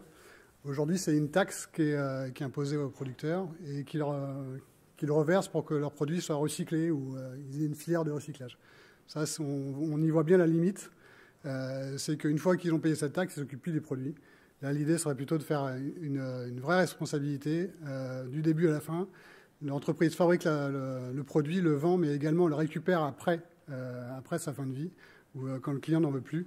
Et là, ça l'obligerait à faire de vraiment de la vraie éco-conception, la vraie efficacité énergétique, euh, du vrai recyclage derrière, parce qu'il utiliserait les bons matériaux qui pourraient être ré réellement recyclés et pas euh, ce qu'on trouve aujourd'hui. Voilà.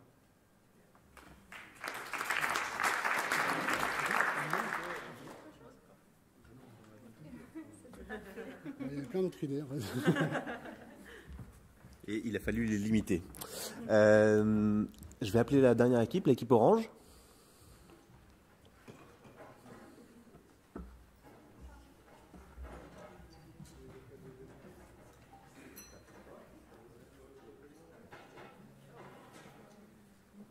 Alors l'équipe orange a terminé en 40 minutes, donc ex aequo avec l'équipe bleue.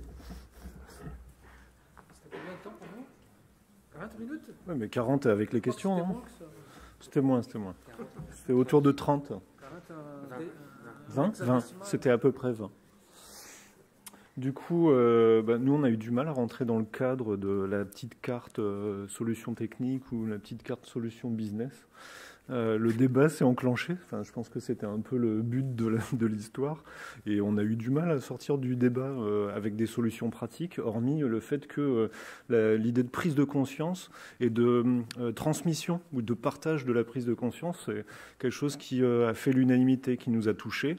Et on en est venu en fait à citer, à partager en fait des références qu'on pouvait avoir les uns les autres et, euh, à se dire que euh, ben, ce serait toujours euh, utile, en l'absence de solutions pratico-pratiques, ben, au moins de partager en fait quelques références et peut-être du point de vue de l'entreprise, ben, peut-être les partager avec des collaborateurs ou entre collaborateurs.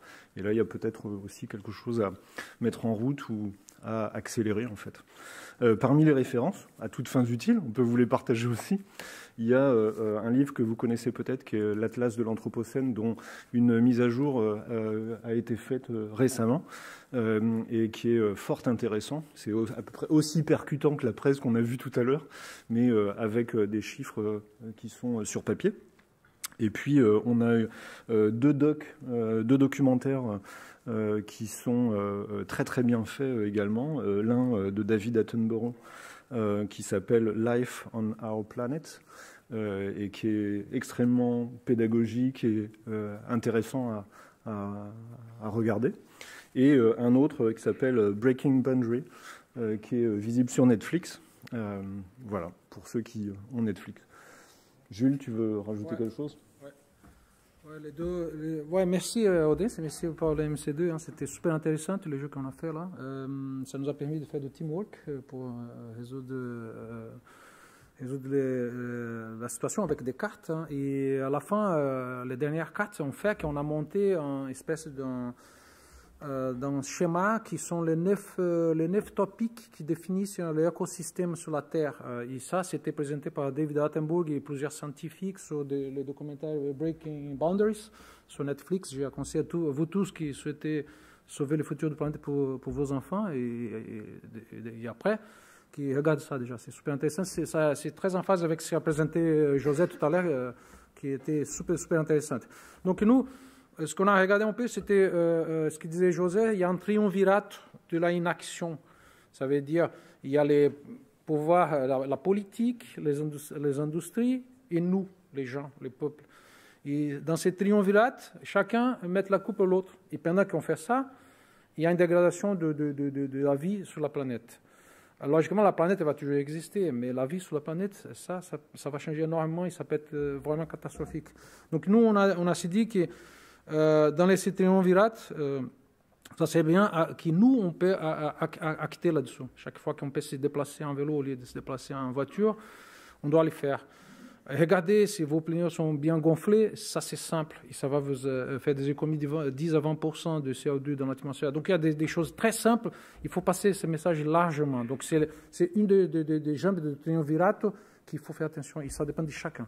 Donc c'était un peu ça qu'on a regardé tout et, à la fin il y avait cette euh, puzzle euh, qui montrait Breaking Boundaries qui est super intéressante. Merci à tous.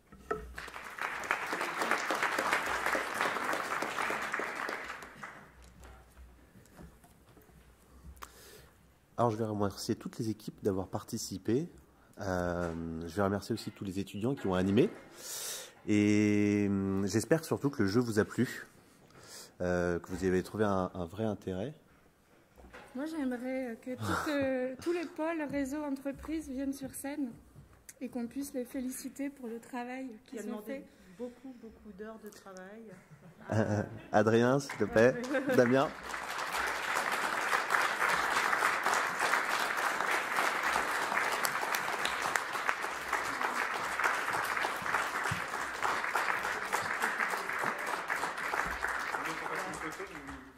Ah, ok. C'est pas si vous devant les tables Hop.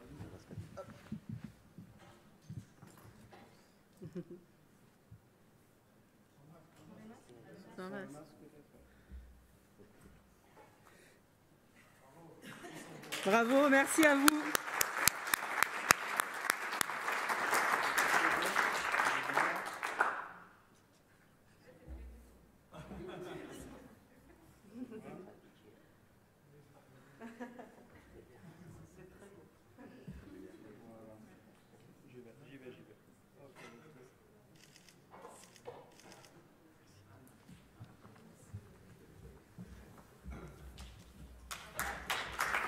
Merci Justine, merci Céline. Euh, donc oui, j'espère que le jeu vous a beaucoup plu. On y a passé effectivement pas mal de temps à l'élaborer dans un temps assez court. Euh, L'idée, c'était de, comme vous l'avez vu, d'aborder seulement les, thématiques. Euh, j'espère que ça. Je pense que vous êtes déjà très au courant, mais que vous avez quand même découvert quelque chose. Je voulais dire aussi qu'on a dans l'idée, peut-être, avec le pôle relations entreprises, de transformer euh, ce jeu en, dans une association et euh, que ce soit un moyen pour nous d'aborder les, entreprises pour venir jouer chez vous et, sur votre sollicitation avec des versions, qui celle-là était la version 1, et euh, développer d'autres versions sur d'autres thématiques ou, plus approfondies. Euh, donc ça, c'est une idée en création. On attendra peut-être votre retour sur cette idée-là. Euh, qu'est-ce que que je voulais dire avant de passer la parole Je voulais faire une petite analogie un peu bancale, mais je vais me lancer quand même une analogie sportive. avec le 15 de France qui a battu samedi dernier la Nouvelle-Zélande exploit s'il en est, par plus de 15 points. C'était la première fois. Euh, et cette victoire, elle s'est construite, euh, elle s'est construite d'abord par la par la compréhension, pardon, du, de, l'adversaire. Euh, aujourd'hui, c'est, le climat, c'est pas notre adversaire, mais il faut le comprendre. c'était aussi la construction d'une, stratégie comprise par tous dans l'équipe, mais pas que dans l'équipe, à travers tous les acteurs de, l'équipe. Et c'était un engagement de tous les acteurs à tous les moments et beaucoup de soutien. Et euh, c'est ça que je voulais aussi euh, mettre en avant sur cette thématique, c'est qu'on doit tous participer. Toutes les entreprises sont des équipes. Tout le pôle MCD est une équipe d'entreprise. Et je pense que c'est que de cette manière-là qu'on arrivera à créer un exploit euh, et qu'on va devoir y arriver. Voilà, je vais passer maintenant la, parole. Je vais passer la, parole à Laurent Manac.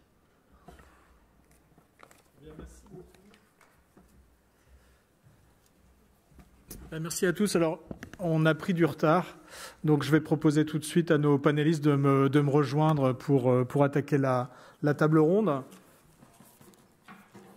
Donc tout à l'heure,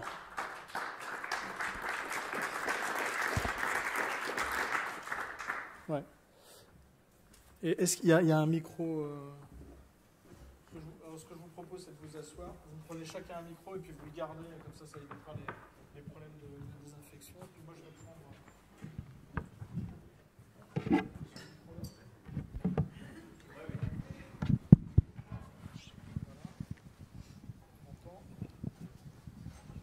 On m'entend Voilà, très bien. Donc euh, oui, je disais tout à l'heure, j'ai entendu euh, une question posée sur, euh, sur le fait de savoir si on devait prendre nos vélos ou pas. Donc aujourd'hui, hein, concrètement, si on avait pu prendre plus nos vélos, on aurait pu commencer à l'heure. Et ça n'a pas été le cas, donc bah, je vous prie de, m'excuser. Et puis, bah, sans, plus, tarder, on va, commencer cette table ronde qui, vient conclure cette, journée autour de l'industrie éco-responsable. Juste peut-être, euh, avant de, faire un, petit, euh, un petit tour de table, euh, rappeler ce qui a été dit. Hein, on est, on est aujourd'hui dans, l'urgence. Alors ça a été dit pendant la préparation de notre table ronde. Hein, c'est plus la question de savoir pourquoi, mais c'est savoir comment on règle le sujet. Donc c'est ça dont, on va parler. Et donc autour, autour de moi, pour parler de tout ça, eh ben, j'ai un certain nombre de, personnes. Et puis je vous propose bah, de, vous, de vous présenter euh, Laurent, peut-être pour commencer oui, bonjour à tous. Donc, euh, je m'appelle Laurent Levaché, je suis chargé de mission industrie du futur à, EDF R&D. Euh, auparavant, j'étais directeur d'un centre européen de recherche en efficacité énergétique et j'essaie de faire le lien entre les, transformations de l'industrie qui se font à marche forcée actuellement et puis les enjeux de réduction de l'empreinte environnementale. Merci Laurent. Christophe? Oui, bonjour euh, Christophe Cugnot. Donc, je suis euh, directeur général euh, d'une ETI familiale. Nous sommes 1500 collaborateurs implantés à La Roche-sur-Yon. Et nous sommes constructeurs et bâtisseurs de bâtiments hors site éco-responsables. Alors hors site, puisque c'est un principe industrialisé, où 90% de la production est faite en usine, ensuite c'est assemblé, transporté et assemblé sur chantier. Et éco-responsable, parce qu'effectivement, on développe des, solutions à énergie positive et des solutions bas carbone également. Euh, bonjour à tous, à toutes. Je suis Séverine Raymondi. Donc, je viens ici, je représente la société Keos. Euh, donc, c'est une société, c'est une start-up euh, qui est basée à côté de Grenoble. Et je suis ici parce qu'on est adhérent au pôle EMC2. Donc, je vous expliquerai un petit peu pourquoi par la suite. et voilà, je suis en charge de faire connaître la solution Keos aux industriels et à tout type d'industrie. Et puis, euh, surtout par rapport à, l'économie circulaire qui, qui est au cœur des enjeux de Chaos. Merci. Merci Séverine. Caroline. Oui, bonjour. Euh, Caroline Joly. Moi, je représente l'association Mission Change. Euh, en deux mots, Mission Change, c'est une association qui a été créée il y a deux ans par des dirigeants de PME à destination des PME qui veulent agir pour la transition écologique mais qui ne savent pas comment démarrer. Et en particulier sur la décarbonation de leur activité en tout cas, merci à tous les quatre d'être euh, avec moi euh, ce soir. Alors, avant de commencer, euh, je vais vous rappeler très brièvement ce qu'est notre manifeste pour une industrie éco-responsable, parce qu'on a beaucoup parlé d'environnement, on a beaucoup parlé de, climat, mais la, vision qu'on a, elle n'est pas seulement celle de la transition environnementale, mais c'est aussi bah, celle de la place de, l'humain au cœur de l'industrie. C'est aussi euh, la problématique euh, d'une entreprise, d'une industrie qui serait compétitive, compétitive hein, qui, est capable de se projeter bien sûr à l'international. également des problématiques liées au collaboratif et à la solidarité. Donc, euh, quand, on parle de ça, on parle bien sûr d'économie solidaire, on parle euh, également euh, de la capacité pour une entreprise à, se, trouver sa, ses, sous-traitants, sa supply chain sur son territoire, donc peut-être d'avoir une autre, une autre approche. Et puis une dernière problématique dont on a beaucoup parlé pendant, pendant la crise en 2020, c'est celle de la souveraineté. Donc quelles sont les industries notamment productives, manufacturières, qu'on veut garder euh, au, sein du, euh, au, sein de notre, de notre territoire, en France, en Europe, etc.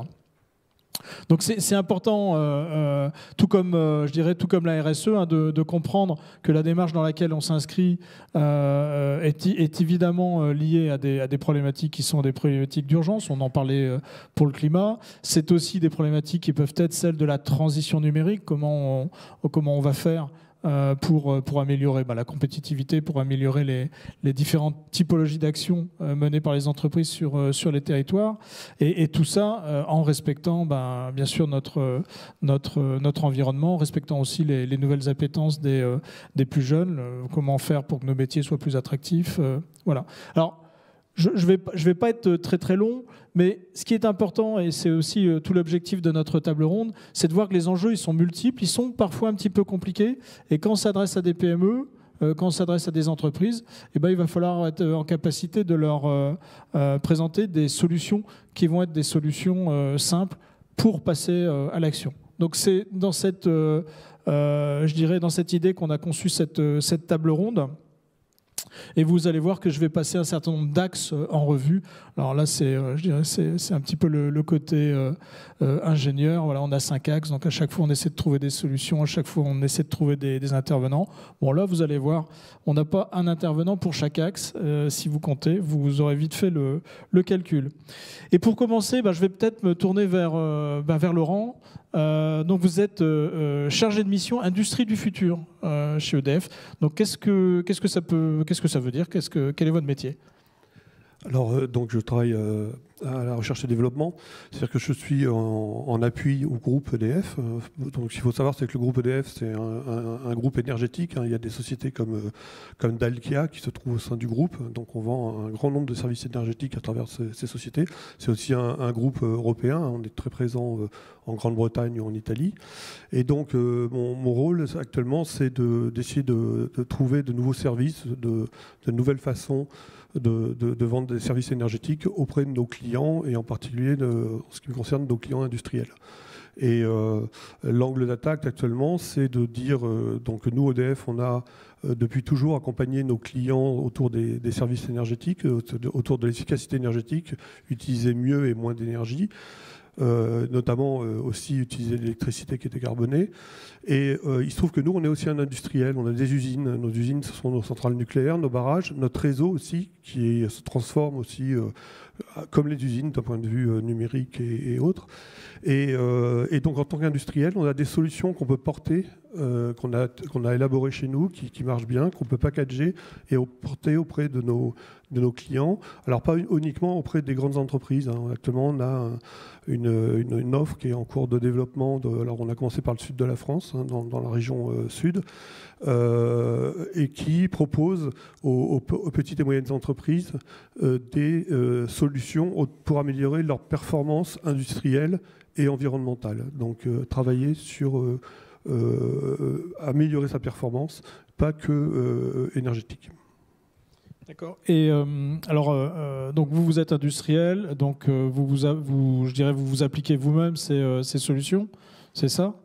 Alors certaines d'entre elles, oui, mais on les adapte pour les, pour les clients auxquels on s'adresse, oui, tout à fait. D'accord. Et euh, par exemple, vous pourriez nous donner un exemple quand vous vous adressez à une PME de la manière dont, vous lui faites, euh, prendre conscience euh, des, progrès à faire, de la manière dont vous lui faites avancer opérationnellement?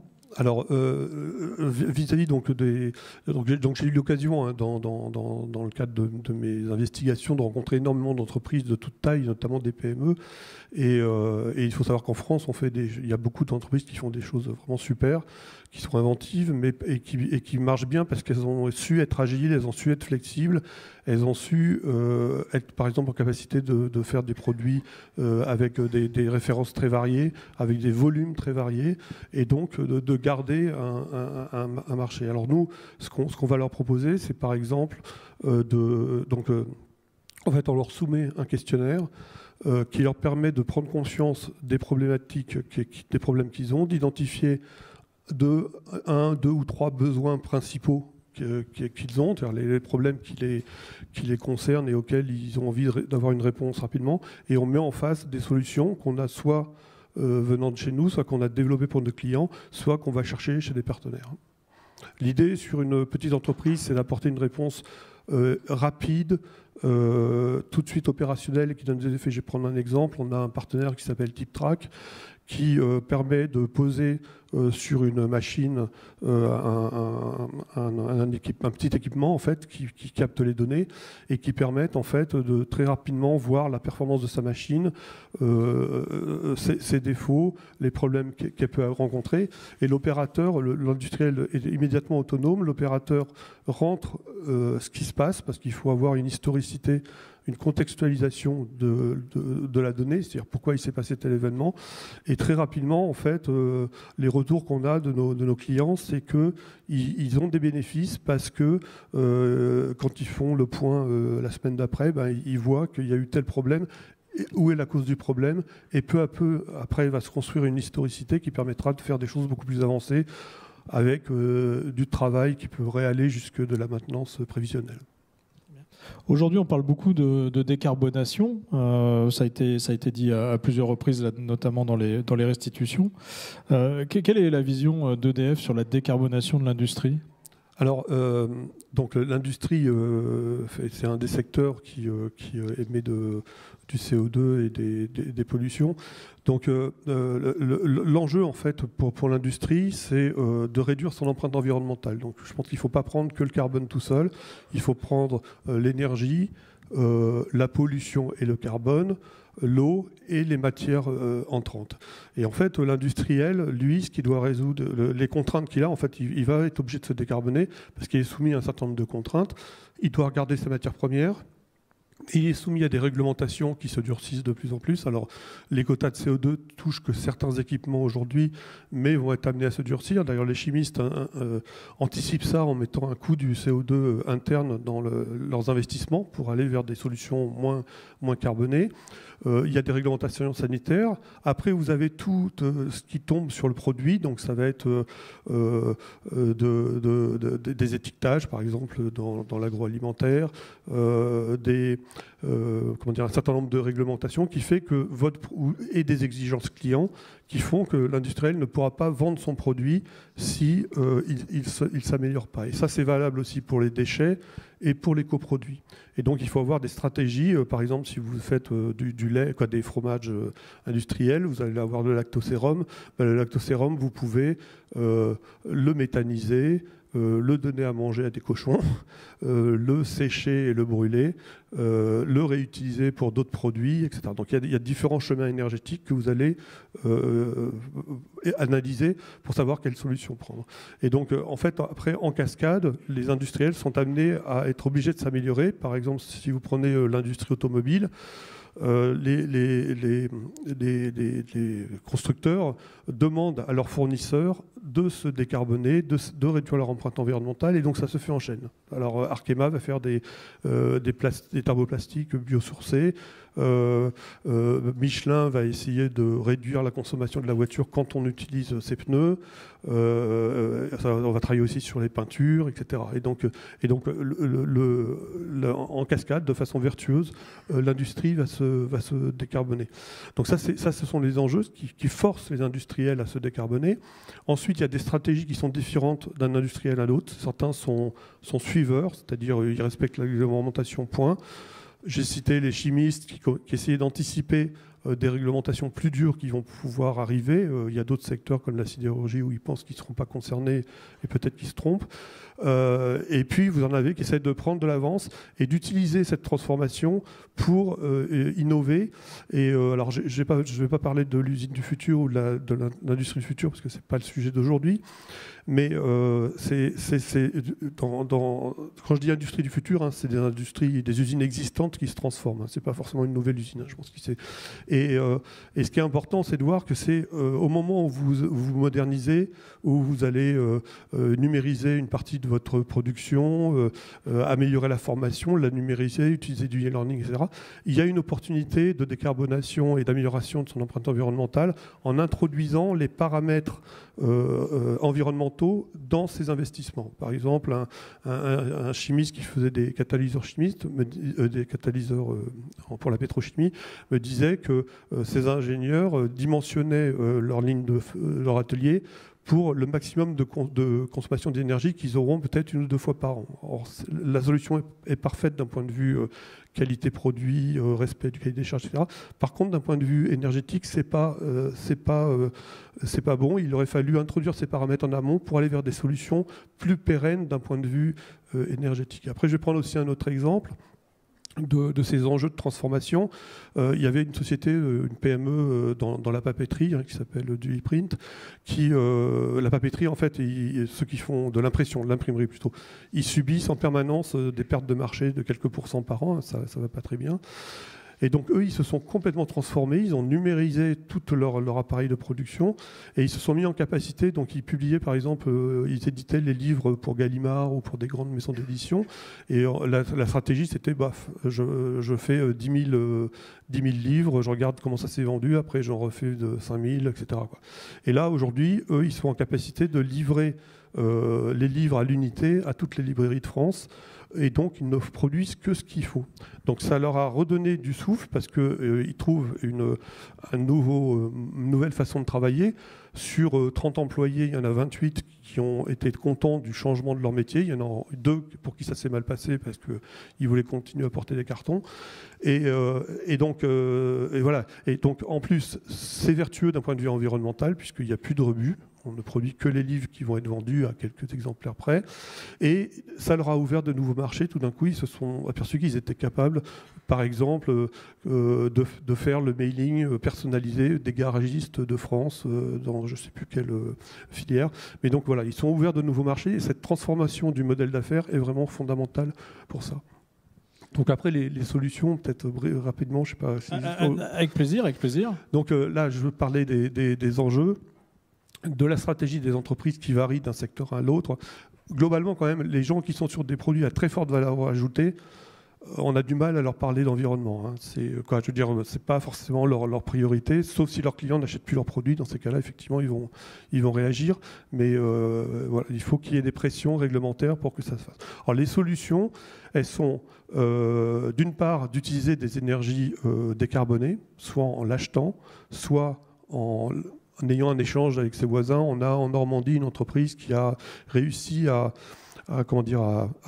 récupérer le, lisier en fait, de tous les fermiers du coin et qui le méthanise et il utilise cette énergie. Donc là, on va parler d'énergie euh, circulaire quoi, ou euh, d'éco-conception, oui, de, non, d'éco-économie, euh, Et, donc, voilà, donc utiliser des énergies décarbonées et éventuellement substituer euh, des procédés euh, qui utilisent des énergies fossiles par des procédés qui utilisent des énergies décarbonées.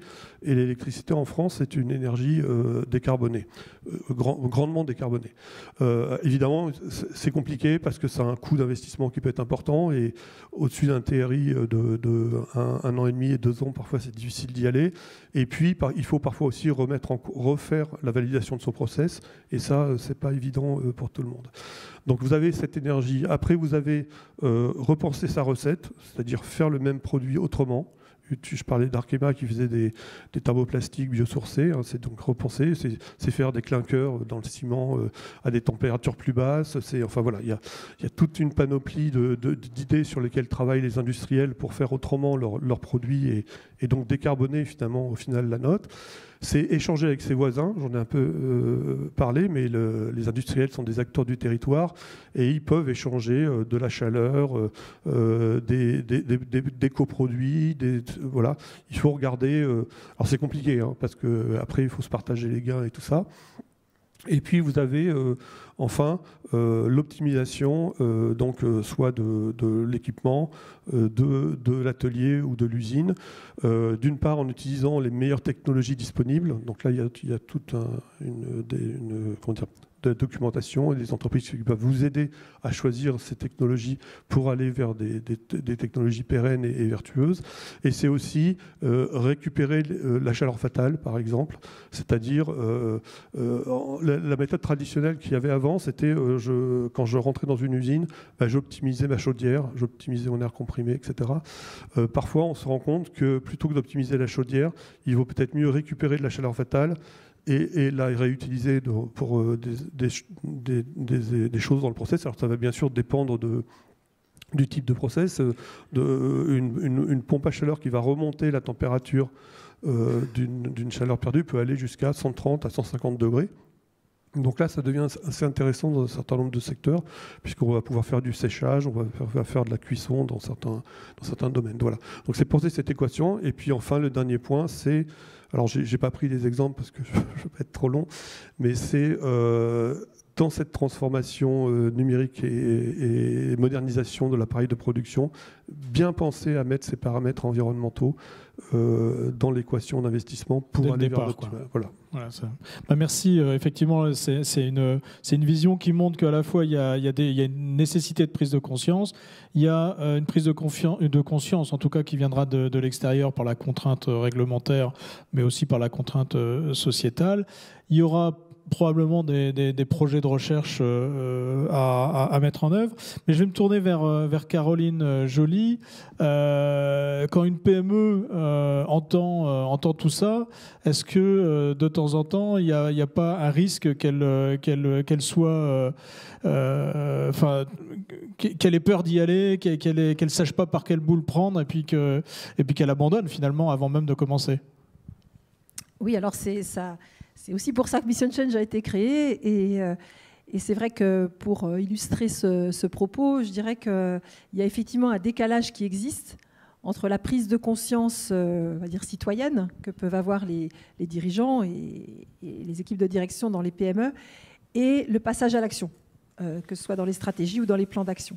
Alors pourquoi en fait bah, D'abord parce que pour beaucoup, ils évoquent ils évoquent euh, les freins financiers en disant finalement ça coûte cher. Euh, bon, voilà, c'est un premier frein. Ils n'ont pas toujours non plus les ressources ou les compétences en interne pour pouvoir piloter ces sujets. Le deuxième point qui les freine aussi, c'est l'absence de solutions technologiques alternatives. Et là aussi, les PME n'ont pas toutes, on va dire, des, des, la R&D euh, en interne qui leur permet dire, de, travailler sur des sujets d'innovation. Et enfin, le dernier point aussi, qui est un frein, alors peut-être maintenant plus psychologique que réel, ils ont le sentiment que euh, les clients ne sont pas prêts. Et finalement, euh, ça ne vaut pas le coup d'investir dans des offres qui finalement ne seront peut-être pas achetées par les clients. Donc il y, a déjà euh, un décalage euh, effectivement euh, entre la prise de conscience, il y a l'envie d'y aller dans l'ensemble, mais il y a une difficulté à passer à l'action. Et c'était bien ce constat effectivement qu'ont fait les, fondateurs, on va dire, de, Mission Change en se disant, ben, finalement, il y, a, des gens qui ont envie d'accélérer la transition écologique dans leur entreprise, mais qui ne savent pas comment, comment démarrer. C'est un peu ce que je disais, c'est-à-dire le temps du pourquoi n'est plus là, mais c'est maintenant le temps du comment. Et donc, euh, ce qui a été euh, inventé, j'allais dire, pour pouvoir répondre à, cette problématique, c'est euh, déjà la première chose, c'est d'essayer de, travailler en collectif. Parce que face à ce qui peut paraître être une montagne, finalement, on est plus fort ensemble en essayant de travailler ensemble. parce qu'on se soutient, parce qu'on se donne des idées les uns les autres, et puis aussi parce que d'un point de vue purement financier, voilà, on peut mutualiser les coûts et ça peut permettre effectivement d'avoir accès euh, à des, budgets euh, plus, réduits. Donc ça, c'est un premier levier. Euh, ensuite, ce que nous on fait, c'est que donc on propose un parcours en 10 sessions sur 6 mois environ, avec 8 à 10 entreprises qui participent à, ce parcours.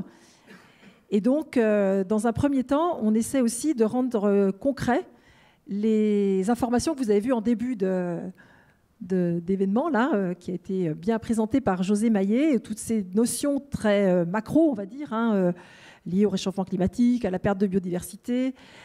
Comment concrètement ça se traduit dans l'entreprise C'est quoi les conséquences en fait pour vous? Parce que ça paraît un peu abstrait et on essaie de traduire ça en, risque, en vulnérabilité, mais aussi en opportunité, de montrer que changer peut aussi amener des, opportunités pour demain. Donc déjà, c'est la première étape. La seconde étape, c'est de réaliser euh, ensuite euh, un bilan carbone qui est euh, en quelque sorte une photographie, un état des lieux de l'impact carbone. Et aujourd'hui, voilà, la méthodologie est très bien rodée. le bilan carbone, ce n'est pas une fin en soi, c'est juste déjà de prendre conscience où sont les plus gros impacts. Et pour ce qui est du monde industriel, souvent, ce qui surprend, c'est que beaucoup pensent que l'essentiel de leur impact va être lié à leur euh, consommation énergétique, liée euh, notamment euh, à enfin, comment dire, aux bâtiments, aux équipements, aux process. Et en réalité, c'est un chiffre, c'est une moyenne, hein, mais on dit que l'empreinte carbone d'une industrie, enfin, en tout cas du cœur de l'usine, ce n'est que 5%. Donc finalement, c'est très peu. C'est-à-dire que les leviers finalement de décarbonation, ils se trouvent ailleurs. Et pour beaucoup, dans le domaine industriel, l'essentiel de leur impact carbone, il se situe en amont, dans leur chaîne de valeur amont, c'est-à-dire dans leurs achats. Dans leurs achats de matières premières, lesquelles matières premières ont déjà subi parfois des étapes de transformation, parfois dans des pays qui ont des mix énergétiques fortement carbonés, puis des étapes de transport, ce qui fait que quand la matière arrive aux portes de l'usine, elle est déjà très lourdement chargée en impact carbone. Et ça, c'est euh, souvent une prise de conscience euh, importante. Et ce que le parti pris qu'on a, dans l'association Mission Change, c'est justement d'aller regarder ces sujets-là, de ne pas avoir peur, de les regarder avec lucidité. Et ce qu'on amène, c'est une connaissance déjà des différents leviers de décarbonation qui sont euh, à disposition des, des entreprises. Pardon donc aussi bien sur les achats, aussi bien sur les matériaux, aussi bien sur l'éco-conception, sur euh, évidemment les solutions énergétiques, mais aussi sur des modèles comme l'économie de fonctionnalité qui a été euh, signalé tout à l'heure. Et donc ça ouvre un petit peu euh, le champ des possibles pour les PME et ça leur paraît tout de suite finalement moins comment dire, compliqué que ça n'y paraissait au départ. Et donc ensuite, on les amène à construire petit à petit une feuille de route qui prend en compte la temporalité en se disant qu'est-ce qu'on peut faire tout de suite, voilà, qu'est-ce qui est concrètement activable maintenant, mais aussi on les amène à se projeter dans les 5 ou 10 ans à venir en se disant, ben, voilà, par rapport à ce que vous savez faire aujourd'hui, par rapport à ce que vous faites, est-ce que votre activité demain, ce sera toujours une activité pérenne dans le monde qui vient Et petit à petit, on les amène à cheminer euh, là-dessus. Et ma foi, euh, voilà, c'est plutôt assez enthousiasmant euh, de voir à quel point finalement, une fois que ils ont bien compris comment les entreprises pouvaient se mettre en mouvement, en fait. Voilà. Et, ces, ces, conclusions peuvent les, les, amener à changer de modèle, alors de modèle et de produit ou de, je dirais simplement de, manière de vendre leurs produits? J'allais dire un peu les deux. voilà, il, bah, il faut y aller par étapes. Il faut y aller par étapes. On ne peut pas être dans une démarche rupturiste trop rapide, hein, sans quoi on fait prendre des risques conséquents à l'entreprise. Donc c'est sur des étapes. Et ça peut les amener effectivement à changer de modèle, hein, notamment sur l'économie de fonctionnalité. Ça, c'est quelque chose qui euh, est assez intéressant parce que ça permet effectivement de créer de la valeur, mais en découplant, on va dire, cette création de richesse de euh, l'utilisation de matière. Et on a dans Mission Change des, entreprises qui se lancent dans, cette, euh, dans ce développement-là. Alors, pas forcément, enfin, qui se mettent en mouvement dans ce sens-là hein, pour les, années à venir. Donc ça, c'est intéressant parce qu'il n'y avait pas forcément spontanément pensé. Et puis, ça peut être aussi euh, des prises de conscience que certaines activités euh, ben, n'ont pas forcément d'avenir dans le monde qui vient. Et donc, c'est peut-être ensuite réfléchir à finalement qu'est-ce qu'on sait faire et à quoi ce savoir-faire il peut être utile dans le monde euh, à venir, dans un monde bas carbone, dans un monde qui va économiser des ressources, etc., de l'énergie. Et je pense qu'anticiper ça, ça fait partie du rôle des dirigeants hein, et ça fait partie aussi de la bonne gestion d'une entreprise. Et c'est comme ça qu'on prend le sujet, c'est-à-dire on rentre par la porte on va dire, du climat, du carbone, et petit à petit on remonte sur des enjeux euh, beaucoup plus stratégiques sur les produits. Et in fine, pour ne pas les laisser seuls face à ça, euh, une fois qu'ils ont construit leur feuille de route, on fait en sorte aussi de les mettre en lien avec tout l'écosystème régional qui peuvent être des gens MC2, qui peuvent être sur des gens d'innovation avec les écoles, euh, sur de la recherche, etc., ou d'autres, ou sur des aspects de financement, par exemple, de l'innovation, pour qu'ils puissent effectivement ensuite euh, vraiment passer à l'action. Et in fine, on, essaie d'entretenir aussi cette communauté d'alumni, j'allais dire, euh, d'entreprises pionnières, pour aussi continuer à mesurer les résultats, s'entraider, et donc créer finalement cette, bascule positive vers la transition écologique.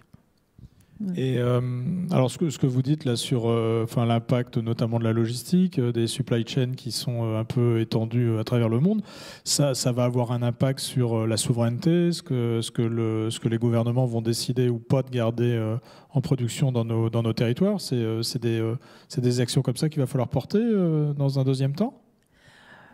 Alors, il y a des choses effectivement qui sont de l'ordre des décisions euh, effectivement de politique publique, d'autres qui peuvent être effectivement des initiatives euh, indépendantes des entreprises. Mais j'allais dire, ça a été dit euh, par José Maillet tout à l'heure, dans le triangle de l'inaction. Enfin, c'est ça. C'est vrai qu'il y a une problématique aujourd'hui, c'est la problématique du travail en silo. Chacun travaille un petit peu pour soi. Euh, les politiques font des choses de leur côté, les industriels euh, de l'autre, euh, les grandes entreprises d'un côté sont donneurs d'ordre, on va dire, aux PME. Donc chacun travaille un petit peu dans sa sphère. Et c'est vrai que on a la conviction, j'ai la conviction qu'on ne pourra y arriver qu'effectivement par la coopération. Ça a été dit en début d'après-midi, mais je le redis.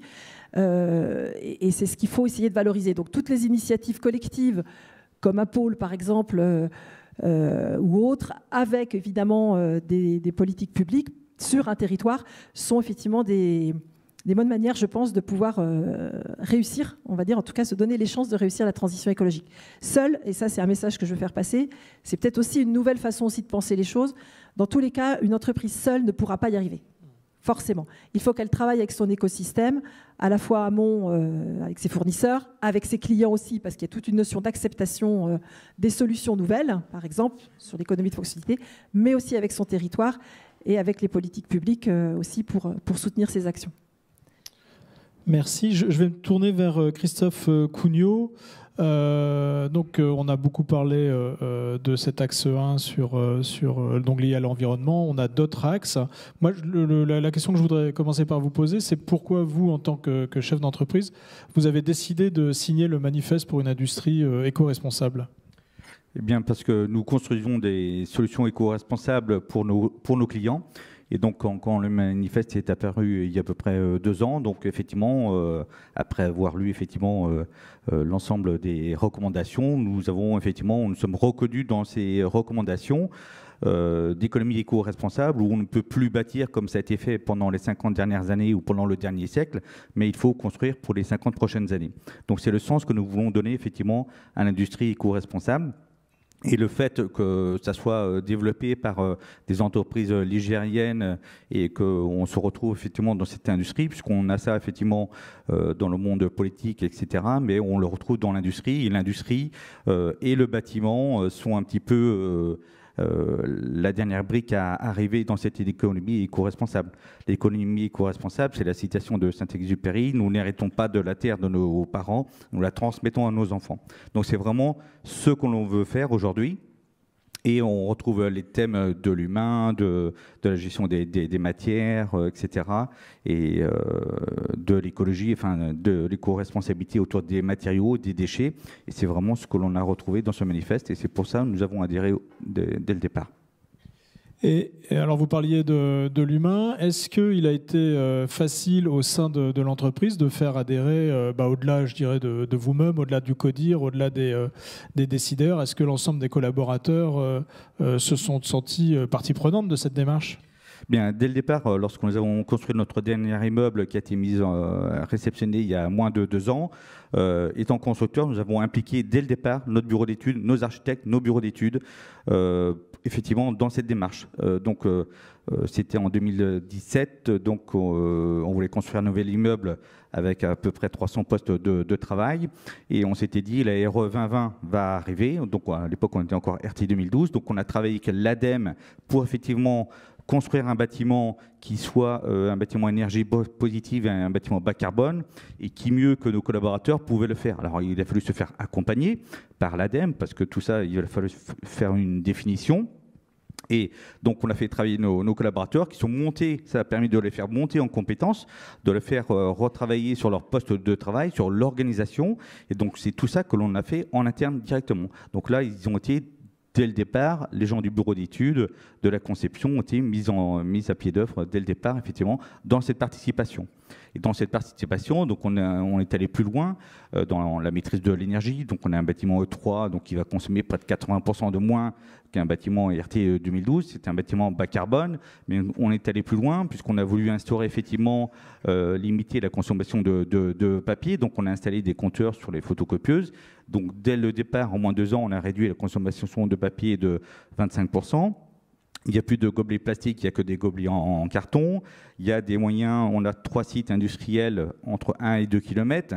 Alors, 1 ou 2 km pour se déplacer à pied, c'est un peu difficile. Les gens ont plutôt tendance à prendre la voiture. Donc, on a mis à disposition une dizaine de, vélos, par exemple, pour, euh, qui permettent, effectivement, lorsque les gens doivent euh, se déplacer un, intersite, de prendre ça plutôt que de prendre sa voiture, ce qui aurait été la, solution euh, la plus facile.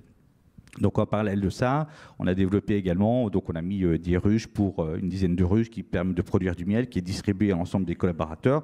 Ça permet de les inciter, de les mettre dans le euh, dans, l'esprit de l'éco-responsabilité. Ça va plus loin que seulement le poste de travail, ça va également dans une réflexion.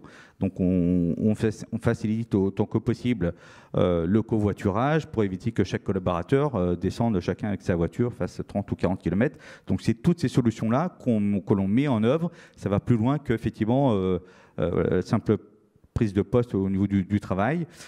c'est toutes ces solutions-là que l'on met en œuvre. Et euh, donc l'axe 2 du, manifeste hein, replace l'humain au cœur des, préoccupations de l'entreprise. Euh, vous-même, il y a des actions que vous faites, par exemple en faveur de, l'inclusion ou euh, bah, sur, sur, je dirais, la lutte contre les TMS, ce genre, ce genre d'action pour, bah, pour, aider je dirais, chacun à vivre son, travail au mieux oui, actuellement, on développe une campagne contre le, sur le handicap hein, pour effectivement que les gens puissent être effectivement pas acteur, mais être euh, sensibilisé effectivement à toutes ces choses-là. Donc on développe ces, solutions-là. On développe également euh, la formation. Donc on accueille près de 70 jeunes apprentis en apprentis en formation alternée, en, alternance. Donc on, développe toutes ces solutions-là également auprès des collaborateurs pour qu'on puisse former également les, les, jeunes auprès de nos collaborateurs.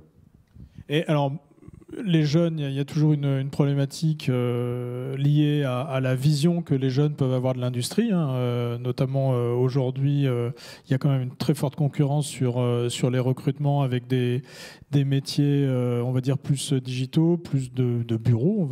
voilà.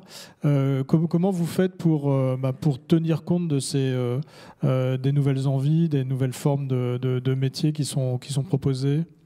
Euh, on a euh, simplifié les horaires de travail. Enfin, les horaires de, travail se font à la carte. On met en place le, télétravail. Depuis euh, il y a deux ans, on a lancé un concours dédié, effectivement, hashtag accélérons, dédié au monde de la construction pour trouver des solutions qui soient effectivement euh, moins consommatrices d'électricité dans le bâtiment, des matériaux ou d'autres solutions, des solutions connectées, des solutions bas carbone et des solutions euh, digitales ou des solutions d'urgence. On a lancé ça il y a deux ans, ce qui fait que ça a eu bon on a eu un très, bon retour et euh, on a été classé l'année dernière par le magazine Capital sixième des entreprises les plus euh, attirantes dans le monde de la construction. Donc c'est une surprise pour nous, hein, on n'était pas habitué à ce, type de, classement. Ça participe également, euh, puisque quand on lance ce type de, concours, on s'adresse aux startups, aux écoles supérieures, aux écoles d'ingénieurs, aux entreprises innovantes. Donc c'est une population qui effectivement est très prenante de ce type de challenge. Donc, ce sont quelques exemples où effectivement on essaye de, faire, de, se porter vers eux. D'accord, donc aujourd'hui vous n'avez pas de problème de recrutement ou euh, d'attractivité? On n'a pas de problème de recrutement. On a de temps en temps des départs. Bon, ce qu'on, euh, et là, effectivement, les jeunes sont beaucoup plus mobiles, donc on ne peut pas l'empêcher. Par contre, effectivement, on arrive à recruter des, compétences, euh, et ça, c'est très important. Et, est-ce que ce sont les jeunes que vous recrutez qui, vous forcent à évoluer par exemple sur, euh, sur, euh, sur les problématiques euh, environnementales ou, sur, sur des choses que vous n'auriez pas envisagées sinon bah, C'est un petit peu les deux. Hein. Disons qu'il faut donner un sens effectivement à leur, à leur travail, à leur action. Donc effectivement, quand on développe l'industrie éco-responsable, la construction éco-responsable, on est au cœur effectivement de tous ces éléments. Nous, la chance qu'on a, c'est qu'on a, on a commencé à développer ça il y a à peu près 4 ans. Donc aujourd'hui, effectivement, c'est quelque chose qui est très, vous voyez, n'importe beaucoup de publicité où effectivement on promet des, produits co-responsables. Donc c'est une vraie prise de, conscience et euh, on a été acteurs et les gens nous font évaluer également euh, par rapport à ça. Bah, merci euh, beaucoup pour ce, témoignage qui, montre donc euh, qu'il n'y a, pas de, fatalité, qu'il faut effectivement prendre les choses au fur et à mesure. Je vais me tourner maintenant vers Séverine Raymondi. donc là, on a, entendu parler de, beaucoup de sujets, beaucoup de solutions. moi, j'ai l'impression que ce que vous proposez chez Chaos, c'est aussi une solution euh, dans, les, euh, dans les problématiques d'économie de, circulaire et de, solidarité sur, euh, sur les territoires. Est-ce que vous pouvez nous en parler un petit peu? Oui, je peux en parler. Donc, donc nous, on est une société, donc on est la société Keos, donc on, a, on est la première société qui a proposé en fait une plateforme digitale pour le réemploi des pièces de maintenance industrielle. La particularité, euh, c'est euh, au sein de Chaos de euh, gérer massivement des données, ce qui nous permet de pouvoir proposer, enfin d'être au cœur de cette économie circulaire, c'est-à-dire qui nous permet d'identifier des produits et de les mettre à la vente sur un certain nombre de plateformes comme eBay, Amazon, etc., et qui permet d'être acheté par n'importe qui. C'est-à-dire, ça peut être des industriels, ça peut, enfin des grands industriels, ça peut être des ETI, des TPE, ça peut être des artisans, des commerçants, des individuels. Donc, ça permet en fait d'avoir, on va dire, euh, un cercle vertueux. Euh, et de, donc on va en parler, hein, puisqu'il s'agit essentiellement, les pièces détachées qu'on met en vente sont essentiellement ce qu'on appelle euh, les stocks dormants. Donc les stocks dormants, euh, ce sont des pièces détachées pour la maintenance industrielle qui ne sont plus utilisées mais qui sont sur les étagères. D'un point de vue comptable, ce sont des pièces qui sont dévalorisées, donc elles ne valent plus rien. Et euh, la, grosse problématique, euh, c'est ces pièces finalement partent à 90% au ferraillage au bout d'un certain temps. Et parmi ces pièces, il y a des pièces obsolètes qui intéressent euh, d'autres industriels, d'autres TPE, d'autres TI, euh, aussi, euh, comme je l'ai dit précédemment, des artisans et commerçants. Et, en fait, le, plus de chaos, c'est de pouvoir permettre la circulation de ces produits, une fois de plus, et qui ne s'arrêtent pas et qui n'aillent pas dans la benne pour, pour rien finalement. Et comment vous est venue cette idée alors? Alors, c'est pas moi qui ai eu cette idée. Donc, en fait, c'est une société qui a été fondée par trois personnes, euh, trois anciens cadres euh, donc euh, de ST Microelectronics et de EDF.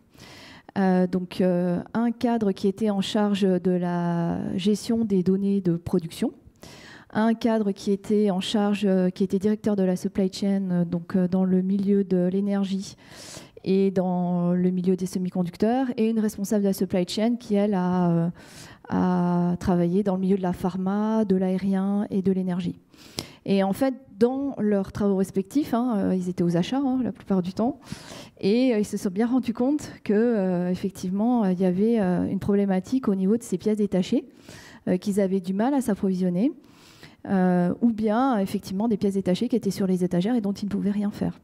Euh, donc, euh, ils, ont, ils ont créé la société en 2018, donc c'est toujours une start-up. Et, euh, et aujourd'hui, voilà, c'est une société qui, qui permet d'apporter des solutions concrètes à, à, différentes typologies d'entreprises pour acheter des pièces sur un marché du réemploi. Donc le marché du réemploi, c'est pas seulement des pièces d'occasion, la plupart euh, des pièces euh, de ces stocks, 80% des pièces sont des pièces neuves.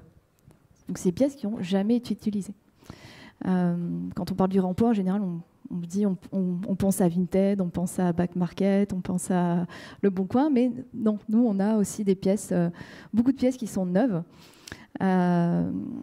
et c'est en ça où la solution permet à des industriels de, d'avoir euh, une solution euh, opérationnelle, parce qu'aujourd'hui c'est opérationnel, ça fait, ça fait deux ans maintenant que vous pouvez acheter des pièces euh, issues des stocks dormants. D'accord, donc en fait vous avez une, aussi une double difficulté, il faut convaincre les sociétés qui ont ces, ces pièces en stock de vous les confier. Et puis, il faut euh, convaincre euh, des, acheteurs de, venir les chercher alors sur, euh, sur eBay ou sur d'autres. Mais, est-ce que c'est c'est le premier endroit où ils iraient pour acheter leurs pièces, leurs pièces détachées? Alors, effectivement, donc, à Keos, on a un modèle biface. On est, on est une société avec deux typologies de clients de ce qu'on appelle des clients vendeurs et ce qu'on appelle des clients acheteurs. Donc les clients vendeurs, ben, effectivement, c'est ceux euh, qui vont proposer à la vente euh, leur stock dormant. Donc effectivement, il faut pouvoir aller, euh, pouvoir aller les convaincre de mettre leur stock en vente. Mais, mais il, euh, c'est vous qui faites la démarche à les convaincre ou à la base ce sont des entreprises qui ont réalisé que euh, voilà il y avait des, une amélioration qui pouvait s'engager dans des marchés co-responsables. comment vous les comment vous les sourcez finalement ces, euh, ces entreprises Au départ en fait effectivement Keo s'est allé les chercher. Donc aujourd'hui on peut en parler, on a le droit, ils nous ont donné le droit. Donc on travaille avec des partenaires comme Michelin par exemple, avec des partenaires comme Air Liquide, avec EDF. Euh, mais aujourd'hui, naturellement, on a des entreprises qui viennent à nous pour vendre leur stock dormant. Donc, on a, c'est pas qu'on n'a pas besoin d'aller chercher, mais en, tout cas, naturellement, on commence à être connu pour ça. Euh, la difficulté, c'est plutôt les clients acheteurs. Euh, parce qu'effectivement, là, alors on voit aussi un, changement de mentalité, mais la difficulté, c'est le client acheteur, notamment un industriel ou une, une TPE, une ETI, qui a l'habitude de travailler avec ses fournisseurs euh, qui a l'habitude de s'approvisionner sur une certaine typologie euh, de supply chain.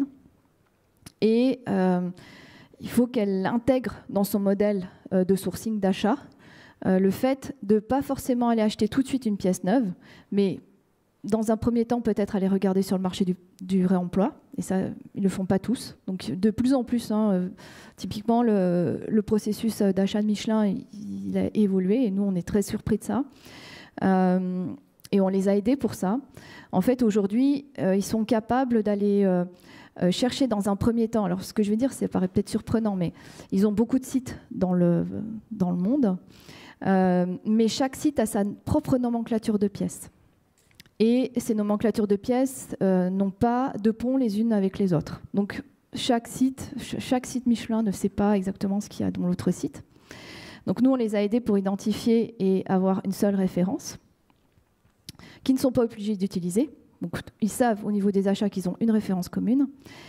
Euh, et donc, au niveau de leur processus achat aujourd'hui, au lieu de dire, voilà, sur tel site, j'ai plus de pièces euh, de la nomenclature A, eh bien, ils vont d'abord aller regarder sur les autres sites si une équivalence existe, enfin si la même pièce avec un autre numéro existe.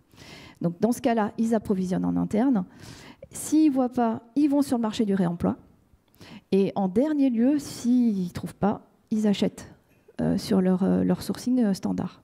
Et ça, c'est une vraie, une vraie, un vrai changement de mentalité qu'on voit, qui commence à être impulsé. Mais c'est ça la difficulté aujourd'hui pour nous chez Keos c'est de pouvoir convaincre finalement les, les, acheteurs que l'économie du réemploi, ce n'est pas qu'une économie d'occasion et euh, ce n'est pas, enfin, pas une économie déclassée finalement. Voilà, c'est la vraie grande difficulté aujourd'hui. D'accord. Et vous vous adressez aux entreprises en France, en région Rhône-Alpes, dans le monde que c'est, là le modèle il est, il est déjà étendu? Oui, donc nous notre donc au niveau des, des clients vendeurs. Euh, là, c'est essentiellement en France. Aujourd'hui, nos stocks, euh, enfin, les, partenaires sont en France essentiellement. Euh, aussi un petit peu en Europe centrale, on commence un petit peu à, avoir de plus en plus de clients vendeurs. Et ensuite, au niveau des clients acheteurs, ben, c'est partout dans le monde, finalement. Après, quand on, est, on visible partout dans le monde de, par les plateformes sur lesquelles on vend, hein, eBay, Amazon, AliExpress et notre propre place de marché Chaos Market. Euh, après, dans la réalité, ce qui est très intéressant de voir, ben, c'est qu'on retombe sur l'économie circulaire et euh, finalement une économie locale. Euh, c'est-à-dire qu'on va avoir des échanges, enfin, des, achats de pièces qui vont se faire de façon assez localisée finalement, mais pas forcément sur des acteurs du même domaine d'activité. Donc, par exemple, on a déjà eu un acteur donc, du milieu du caoutchouc une pièce détachée qui allait chez un acteur de la pharma, par exemple. Et ça, bon, ils ne le savent pas, nous on le sait. Mais euh, tout ça, c'est pour expliquer, euh, au niveau du marché du réemploi, pour qu'on ait vraiment une émergence massive, on doit vraiment comprendre euh, le fait qu'il faut décloisonner les segments d'activité. Ça, c'est primordial. nous, on bataille et on a des projets en cours sur l'interconnexion des acteurs sur un même territoire, parce qu'on y croit, dans le sens où euh, un acteur peut mettre à disposition des pièces et finalement intéresser d'autres acteurs qui n'ont rien à voir dans le secteur d'activité. Euh, décloisonner aussi la typologie de pièces, parce que ça c'est quelque chose aussi qui est extrêmement important. Et euh, pour aussi avoir une, une émergence massive du réemploi, le dernier point c'est la transparence. C'est-à-dire que nous, en fait, les prix sont les prix, sont les prix du marché. Euh, la provenance, elle est, elle est claire. Donc voilà, il n'y a pas de. On, est convaincu que pour pouvoir aller sur un, réemploi massif, il faut que ces quatre critères soient, soient remplis. Bon, bah merci beaucoup. En tout cas, une, une, belle initiative qui, qui, montre aussi que le collaboratif et, euh, et le travail sur, euh, sur le territoire est, important. On arrive au terme de, de cette table ronde.